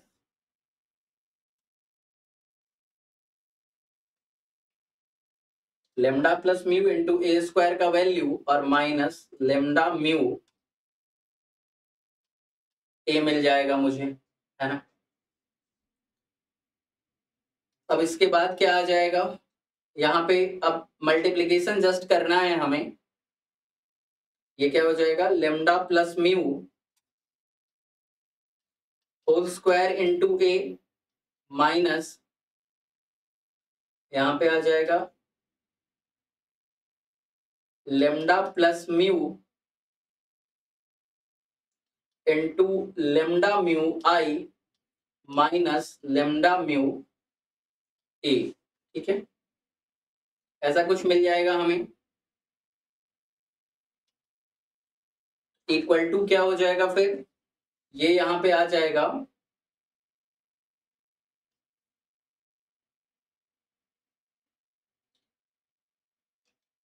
Lambda plus mu whole square यहाँ पे है। वन मिनट यहाँ मुझे रिक्वायरमेंट क्या सब है? A cube is equals to minus lambda mu into lambda plus mu identity तो ये आ चुका है हमारे पास minus lambda mu into lambda plus mu into identity. तो बेसिकली मुझे क्या करना है? इन दोनों को चेक करना है, ठीक है? तो ये सेगमेंट तो मुझे ऑलरेडी मिल चुका है है ना? अब इस सेगमेंट पे बात करनी है मुझे। तो इस सेगमेंट में क्या हो जाएगा? Lambda plus mu whole square into A minus lambda mu A, ऐसा कुछ। तो बेसिकली ये क्या है? Lambda plus mu whole square minus lambda mu into A है, ठीक है? अब देखो, यहाँ पे lambda cube minus mu cube into lambda minus mu है ना? ये क्या है? Lambda cube minus mu cube upon lambda minus mu है, ठीक है? अगर आप इसे ब्रेक करते हो तो ये A cube minus B cube क्या हो जाएगा यहाँ पे? A minus B into A square plus A B plus B square ऐसा कुछ होता है ये, है ना? और अपॉन लेमडा माइनस म्यू है, इससे ये कैंसल हो जाएगा। तो आपके पास ये क्या बच रहा है? Lambda square plus lambda mu और प्लस म्यू स्क्वायर ठीक है? और यहाँ पे आपके पास lambda plus mu whole square minus lambda mu है। तो इसे आप ब्रेक करोगे ना तो उसी के बराबर आ जाएगा। देखो, ये lambda square plus mu square plus two lambda mu और माइनस लेमडा म्यू है ना? इंटू ए है। तो बेसिकली ये आ जाएगा lambda square plus mu square plus lambda mu into A वही क्वांटिटी मिली ना आपको यहाँ पे। तो जस्ट कैलकुलेशन था, इसमें कोई खास लॉजिक जैसा नहीं है है ना? तो ये ट्रू हो जाएगा। अभी क्या कह रहे थे आकांक्षा के प्रीवियस क्वेश्चन का ऑप्शन बी बी में क्या कह रहा है? There is a basis of R seven with respect to T is a diagonal matrix तो देखो सेकंड ऑप्शन जो कह रहा है, उसका मीनिंग क्या है? उसको समझते हैं कि टी कोई ट्रांसफॉर्मेशन डायगलाइजेबल होता है या ए कोई मैट्रिक्स डायगलाइजेबल होता है, ठीक है? तो ए के मैट्रिक्स के सेंस में अगर हम डेफिनेशन देखते हैं तो कहते हैं there exist P belongs to GLNF such that P inverse AP किसी डायगोनल मैट्रिक्स के बराबर हो जाए। ठीक है? तो हम मैट्रिक्स को डायगलाइजेबल कहते हैं। और ट्रांसफॉर्मेशन के डायगलाइजेबल के लिए क्या है? If and only if there exists beta subset of v v space होगा जहाँ v से v का ट्रांसफॉर्मेशन होगा such that all the such that beta क्या हो जाए? Basis and all the vectors of beta is an eigen vector तो किसी ट्रांसफॉर्मेशन के डायगलाइज होने के लिए बहुत ही strong if and only condition है। तो उस ट्रांसफॉर्मेशन का एक ऐसा बेसिस एग्जिस्ट करे, जिस बेसिस के सारे एलिमेंट क्या हो जाए? आइगन वेक्टर हो जाए। ठीक है? तो सारे एलिमेंट अगर बेसिस के आइगन वेक्टर होंगे तो ऑब्वियसली आपका जो मैट्रिक्स है वो डायगनली बनेगा। देखो, मान लो कि मैं टी ऑफ़ एक्स वन से टी ऑफ़ एक्स एन तक ऐसा ले रहा हूँ, ठीक है? और एक्स वन से एक्स एन तक है। तो अगर ऐसा हो जाए कि बेसिस के मेंबर x1 से xn तक आइगन वेक्टर ही हो जाए तो t ऑफ़ x1 क्या हो जाएगा? किसी आइगन वैल्यू लेमडा वन के कोरस्पॉन्डिंग लेमडा वन x1 हो जाएगा तो यहाँ लेमडा वन आ जाएगा। अगर x2 एक आइगन वेक्टर है तो t of x2 equal to some lambda two हो रहा होगा। तो यहाँ सिर्फ़ लेमडा टू आ जाएगा और यहाँ सिर्फ़ लेमडा एन आ जाएगा। तो देखो, अपने आप ये मैट्रिक्स रिप्रेजेंटेशन क्या बन जाएगा? डायगोनल मैट्रिक्स बन जाएगा। ठीक है? क्लियर है? तो वही पूछा गया है कि देयर इज़ अ बेसिस तो डायगनाइजेबल है, ये हम पता कर चुके हैं। तो इस बात की गारंटी है कि कैसा बेसिस मिलने ही वाला है।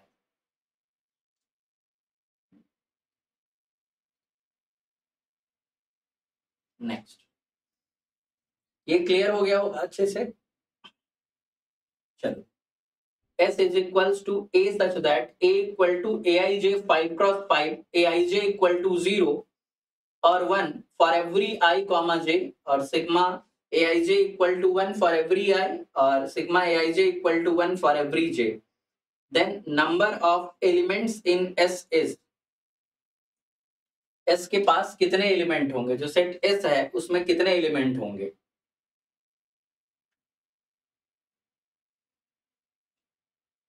ए में क्या दिया गया है? एक फाइव क्रॉस फाइव मैट्रिक्स दिया गया है, जहाँ पर ए आई जे या तो ज़ीरो है या फिर वन है। तो सबसे पहली बात तो फाइव क्रॉस फाइव मैट्रिक्स का कलेक्शन है आपका, जिसमें कि क्या हो रहा है? जो एंट्रीज हैं, वो या तो ज़ीरो हो रही है और नहीं तो वन हो रही है, ठीक है?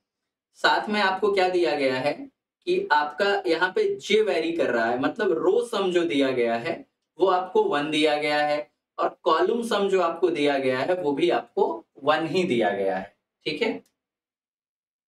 रो सम भी वन है और कॉलम सम भी वन ही है। तो number of element in S कितने होंगे?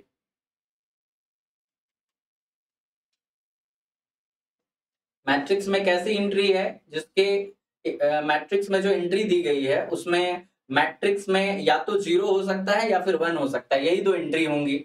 और साथ में स्पेशल क्वालिटी ये है यहाँ पे कि row sum zero sorry row sum भी वन आ रहा है और कॉलम सम भी वन आ रहा है, ठीक है?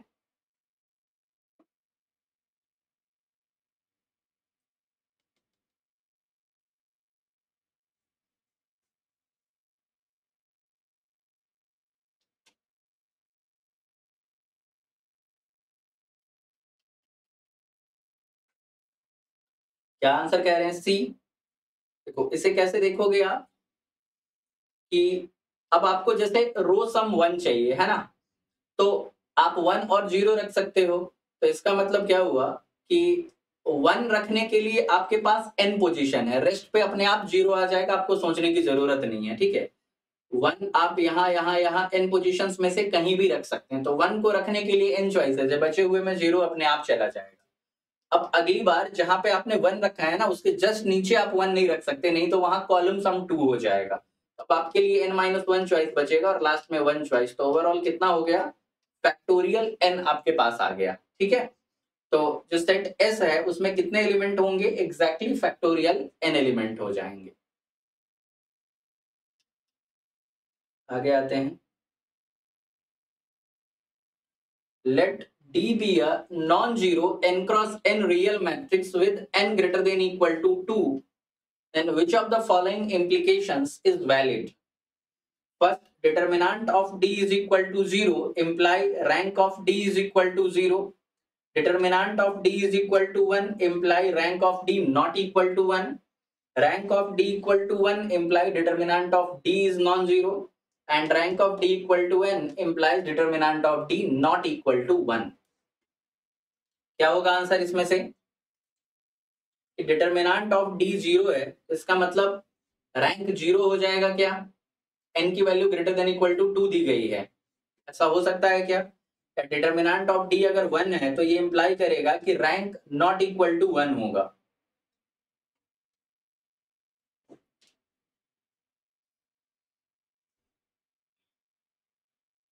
देखो डिटर्मिनांट ऑफ़ ज़ीरो डी अगर ज़ीरो है तो रैंक ज़ीरो होगा क्या? तो अगर मैं वन ज़ीरो ज़ीरो ज़ीरो ये मैट्रिक्स बनाता हूँ तो ये इसके काउंटर एग्ज़ाम्पल की तरह वर्क करेगा।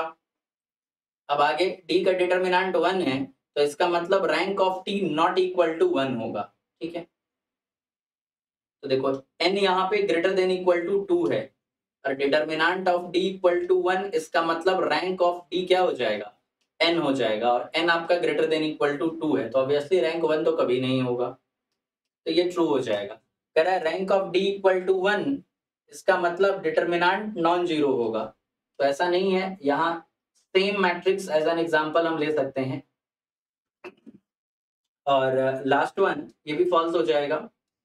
और लास्ट वन है rank of D is equal to n implies determinant of D not equal to one ऐसा भी नहीं है यहाँ आप आइडेंटिटी मैट्रिक्स ले सकते हो ये भी फॉल्स हो जाएगा। तो only second option is correct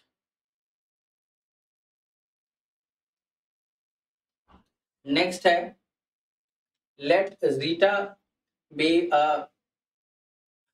primitive fifth root of unity define A is equals to zeta to the power minus two मतलब एक मैट्रिक्स आपको दिया गया है। For a vector v v one v two v three v four v five belongs to R five define some एक term norm like behave करने के लिए कुछ डिफाइन किया गया है।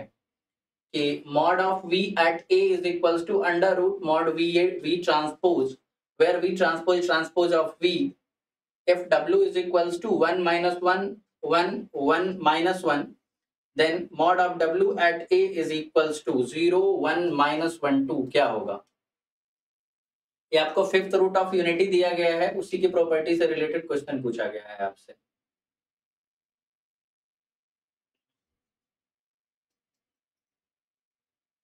लास्ट क्वेश्चन का बिल्कुल सेकंड बी आंसर था। अब इस क्वेश्चन के बारे में बात करनी है। बताइए आंसर पानी पी लेता हूँ।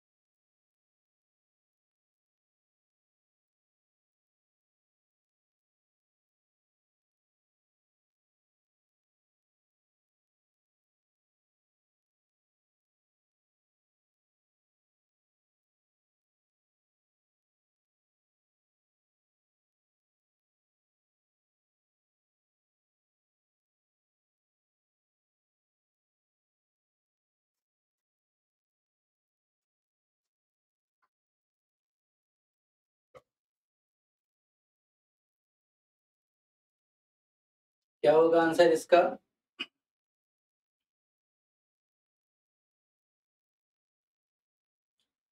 आकांक्षा इसका आंसर, दो आंसर कैसे हो सकते हैं? ये तो कैलकुलेट होकर के कुछ एक ही आंसर आएगा ना।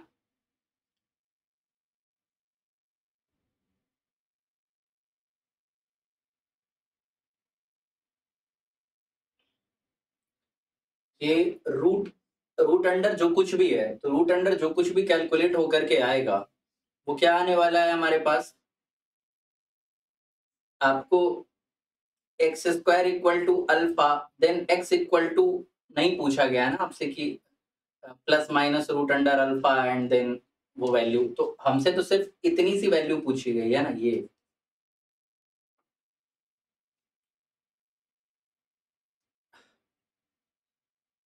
चलो, दूसरी चीज़ ये है कि इसका आंसर वन या फिर माइनस वन नहीं होगा।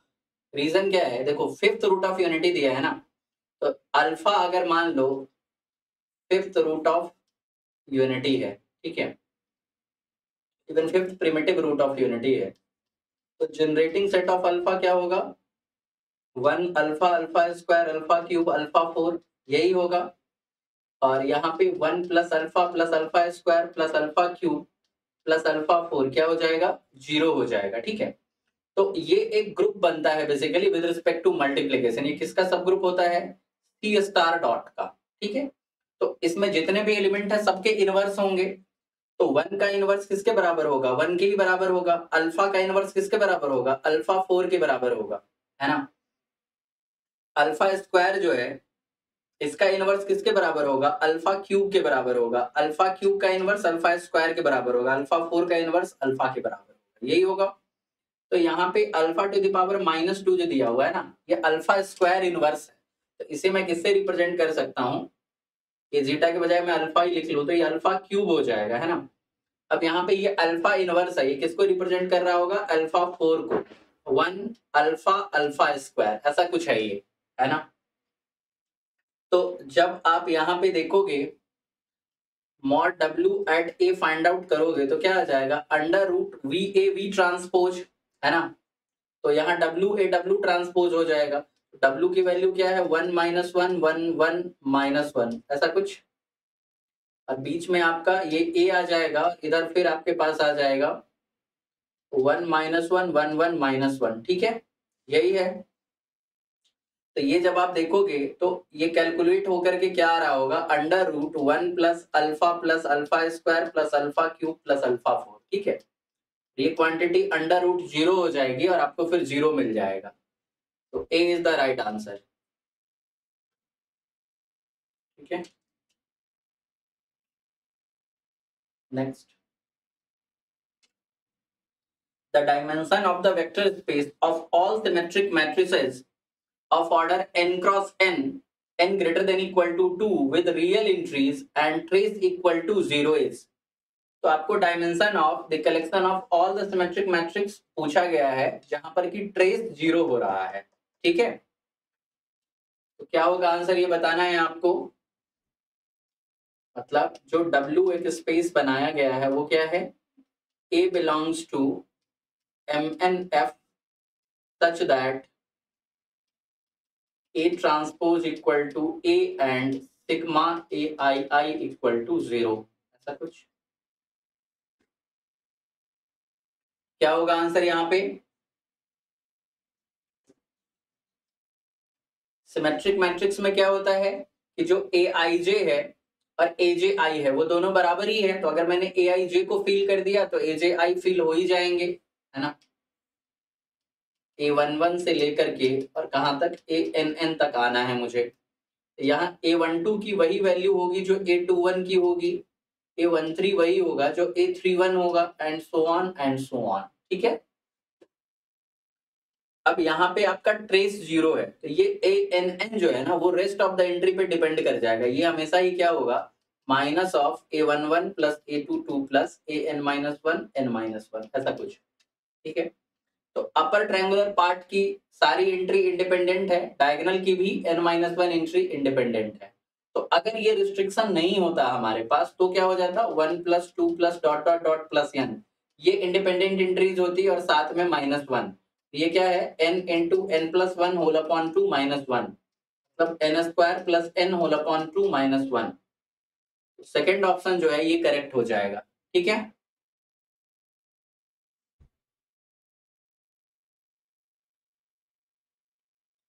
भाग्यश्री क्या कह रहे हैं? नॉट मैच क्या मैच नहीं हो रहा?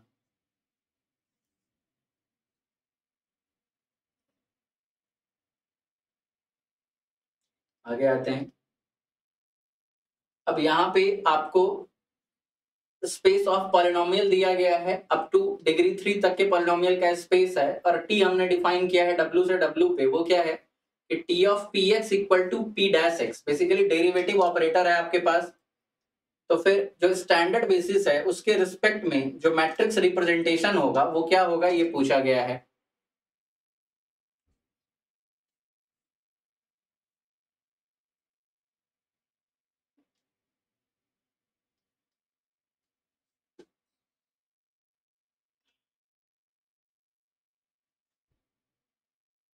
तो डेरिवेटिव ऑपरेटर जो है, वो एक आपको निलपोटेंट ऑपरेटर रहेगा, है ना?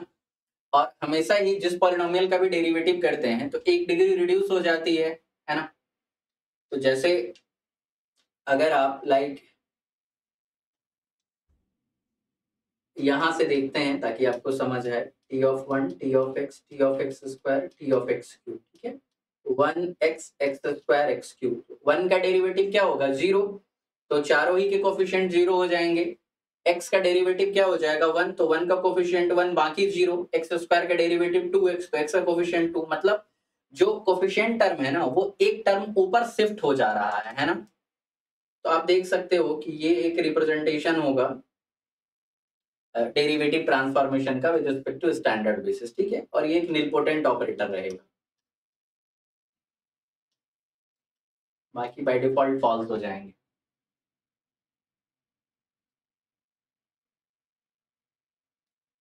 नेक्स्ट है let a i j is equals to a i a j a i j क्या है? ए आई और ए जे का प्रोडक्ट है।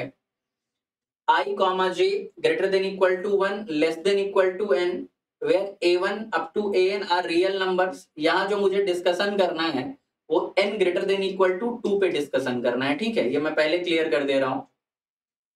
An up to an are real numbers, that a is equals to aij be n cross n matrix then it is possible to choose a1 up to an so as to make uh, as to make the matrix a non singular मतलब ऐसा a1 से an तक का कोई choice हम ले सकते हैं क्या जिससे मैट्रिक्स हमारा क्या हो जाएगा नॉन सिंगुलर हो जाएगा ठीक है इसके बाद फिर क्या है the matrix A is positive definite if A1 up to AN is a non-zero vector.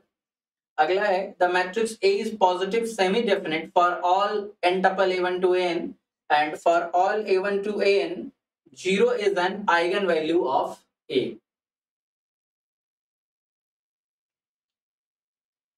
क्या होगा आंसर यहाँ पे? बहुत ही इंटरेस्टिंग क्वेश्चन है। यहाँ ये मैट्रिक्स कैसा बन रहा है पता है? ये कुछ ऐसा बन रहा है। ए वन ए वन दूसरा पोजीशन ए वन टू है तो ये ए वन ए टू को रिप्रेजेंट करेगा और ये ए वन ए एन को। डॉट डॉट डॉट ये ए एन ए वन है, ये ए एन ए टू है a n a n n cross n और n greater than equal to two है हमारे पास, ठीक है। तो इस मैट्रिक्स की स्पेशलिटी क्या होती है? मैट्रिक्स का रैंक क्या है?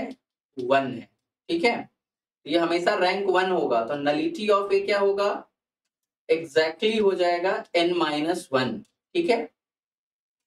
तो it is possible to choose a one to n as to make the matrix A is non singular तो नलिटी जो है तो यहाँ से क्या आ जाएगा? Greater than equal to one क्योंकि एज एन की वैल्यू क्या है? Greater than equal to two है। N greater than equal to two है तो एन माइनस वन हमेशा ही greater than equal to one ही रहने वाला है। तो नलिटी हमेशा ही नॉन ज़ीरो होगी तो मैट्रिक्स हमेशा ही क्या होगा? सिंगुलर होगा। तो ये फॉल्स हो जाएगा। अब है कि the matrix A is positive definite तो देखो, ये जो मैट्रिक्स है, आपको क्लियरली यहाँ पे विजिबल होगा कि जैसे देखो, यहाँ पे ए टू ए वन कहने को लिखा हुआ है, लेकिन एंट्री तो रियल नंबर डाल रहा है ना तो ए टू ए वन की बात करें या ए वन ए टू की बात करें, एक ही बात है ये सिमेट्रिक मैट्रिक्स नज़र आ रहा है आपको, है ना? तो सिमेट्रिक मैट्रिक्स है तो इससे ये मैट्रिक्स कैसा होगा? तो उसके लिए क्या है कि अगर इसके सारे आइगन वैल्यू पॉजिटिव होते तो ये पॉजिटिव डेफिनेट होता। लेकिन कुछ आइगन वैल्यू ज़ीरो भी हैं इसके, है ना? तो वहाँ से ये क्या हो जाएगा? पॉजिटिव या नेगेटिव जो भी होगा सेमी डेफिनेट हो जाएगा ये। ठीक है? अब यहाँ पे एक और चीज़ आप देखोगे ए वन ए वन कर रहे हैं ए एन ए एन कर रहे हैं। तो इसका ट्रेस क्या होगा? पॉजिटिव ही हो जाएगा ना, क्योंकि a one a one a one square एक पॉजिटिव नंबर होगा या ज़ीरो होगा। तो जब ओवरऑल एड ऑन करेंगे तो ये क्या मिलने वाला है मुझे? ट्रेस जो मिलेगा, वो नॉन ज़ीरो पॉजिटिव क्वांटिटी मुझे मिलेगी, है ना? तो ये पॉजिटिव सेमी डेफिनेट बनने वाला है। इज़ पॉजिटिव डेफिनेट ये तो फॉल्स हो जाएगा। पॉजिटिव सेमी डेफिनेट ये ट्रू हो जाएगा। फिर उसके बाद for all for all a1 up to an 0 is an eigenvalue of a अब a1 से an तक आप कुछ भी ले ले मैटर नहीं करेगा, है ना? नॉन ज़ीरो लेना है है ना? ये ध्यान में रखना है, नहीं तो फिर ये मैट्रिक्स ज़ीरो मैट्रिक्स हो जाएगा। तो हमेशा ही ज़ीरो एक आइगन वैल्यू तो आपको मिलने ही वाला है, ठीक है? तो C and D are the correct answer आगे आते हैं। तो जो स्टूडेंट लास्टली मैं बता रहा हूँ अभी, अब लेक्चर ओवर करने का टाइम है तो जिनने भी टेस्ट सीरीज़ नहीं लिया है, वो रुपीज़ वन नाइनटी नाइन की प्राइस पे टेस्ट सीरीज़ अवेलेबल है। वापस थर्टी कूपन कोड के साथ ले सकते हैं। वहीं जिन लोगों को रिवीजन के लिए लेक्चर सीरीज़ चाहिए, वो ले सकते हैं, वो भी अवेलेबल है। और साथ में मॉक टेस्ट बच्चों ने ट्वेंटी सेकेंड ऑफ़ मार्च से ही देना स्टार्ट कर दिया है, सुबह आठ बजे से। तो आप भी मॉक टेस्ट दीजिए, जो एग्जामिनेशन का प्रेशर है, जो कम टाइम में क्वेश्चन सॉल्व करने की कैपेबिलिटी है, उसको डेवलप करना है है ना? और अगर आप लोगों ने एफ़ का मोबाइल एप्लीकेशन डाउनलोड नहीं किया है तो उसे आप डाउनलोड कर लीजिए, क्योंकि बहुत सारी चीज़ें ऐसी हैं जो बिना परचेज के, बिना एक रुपए खर्च किए आपको अवेल हो जाएगा। जैसे कि demo video paper analysis cut off previous year question और कई सारी चीज़ें हैं जो आपको मिलेंगी। साथ में सारे नोटिफिकेशन तुरंत के तुरंत आपको मिलेंगे। Thank you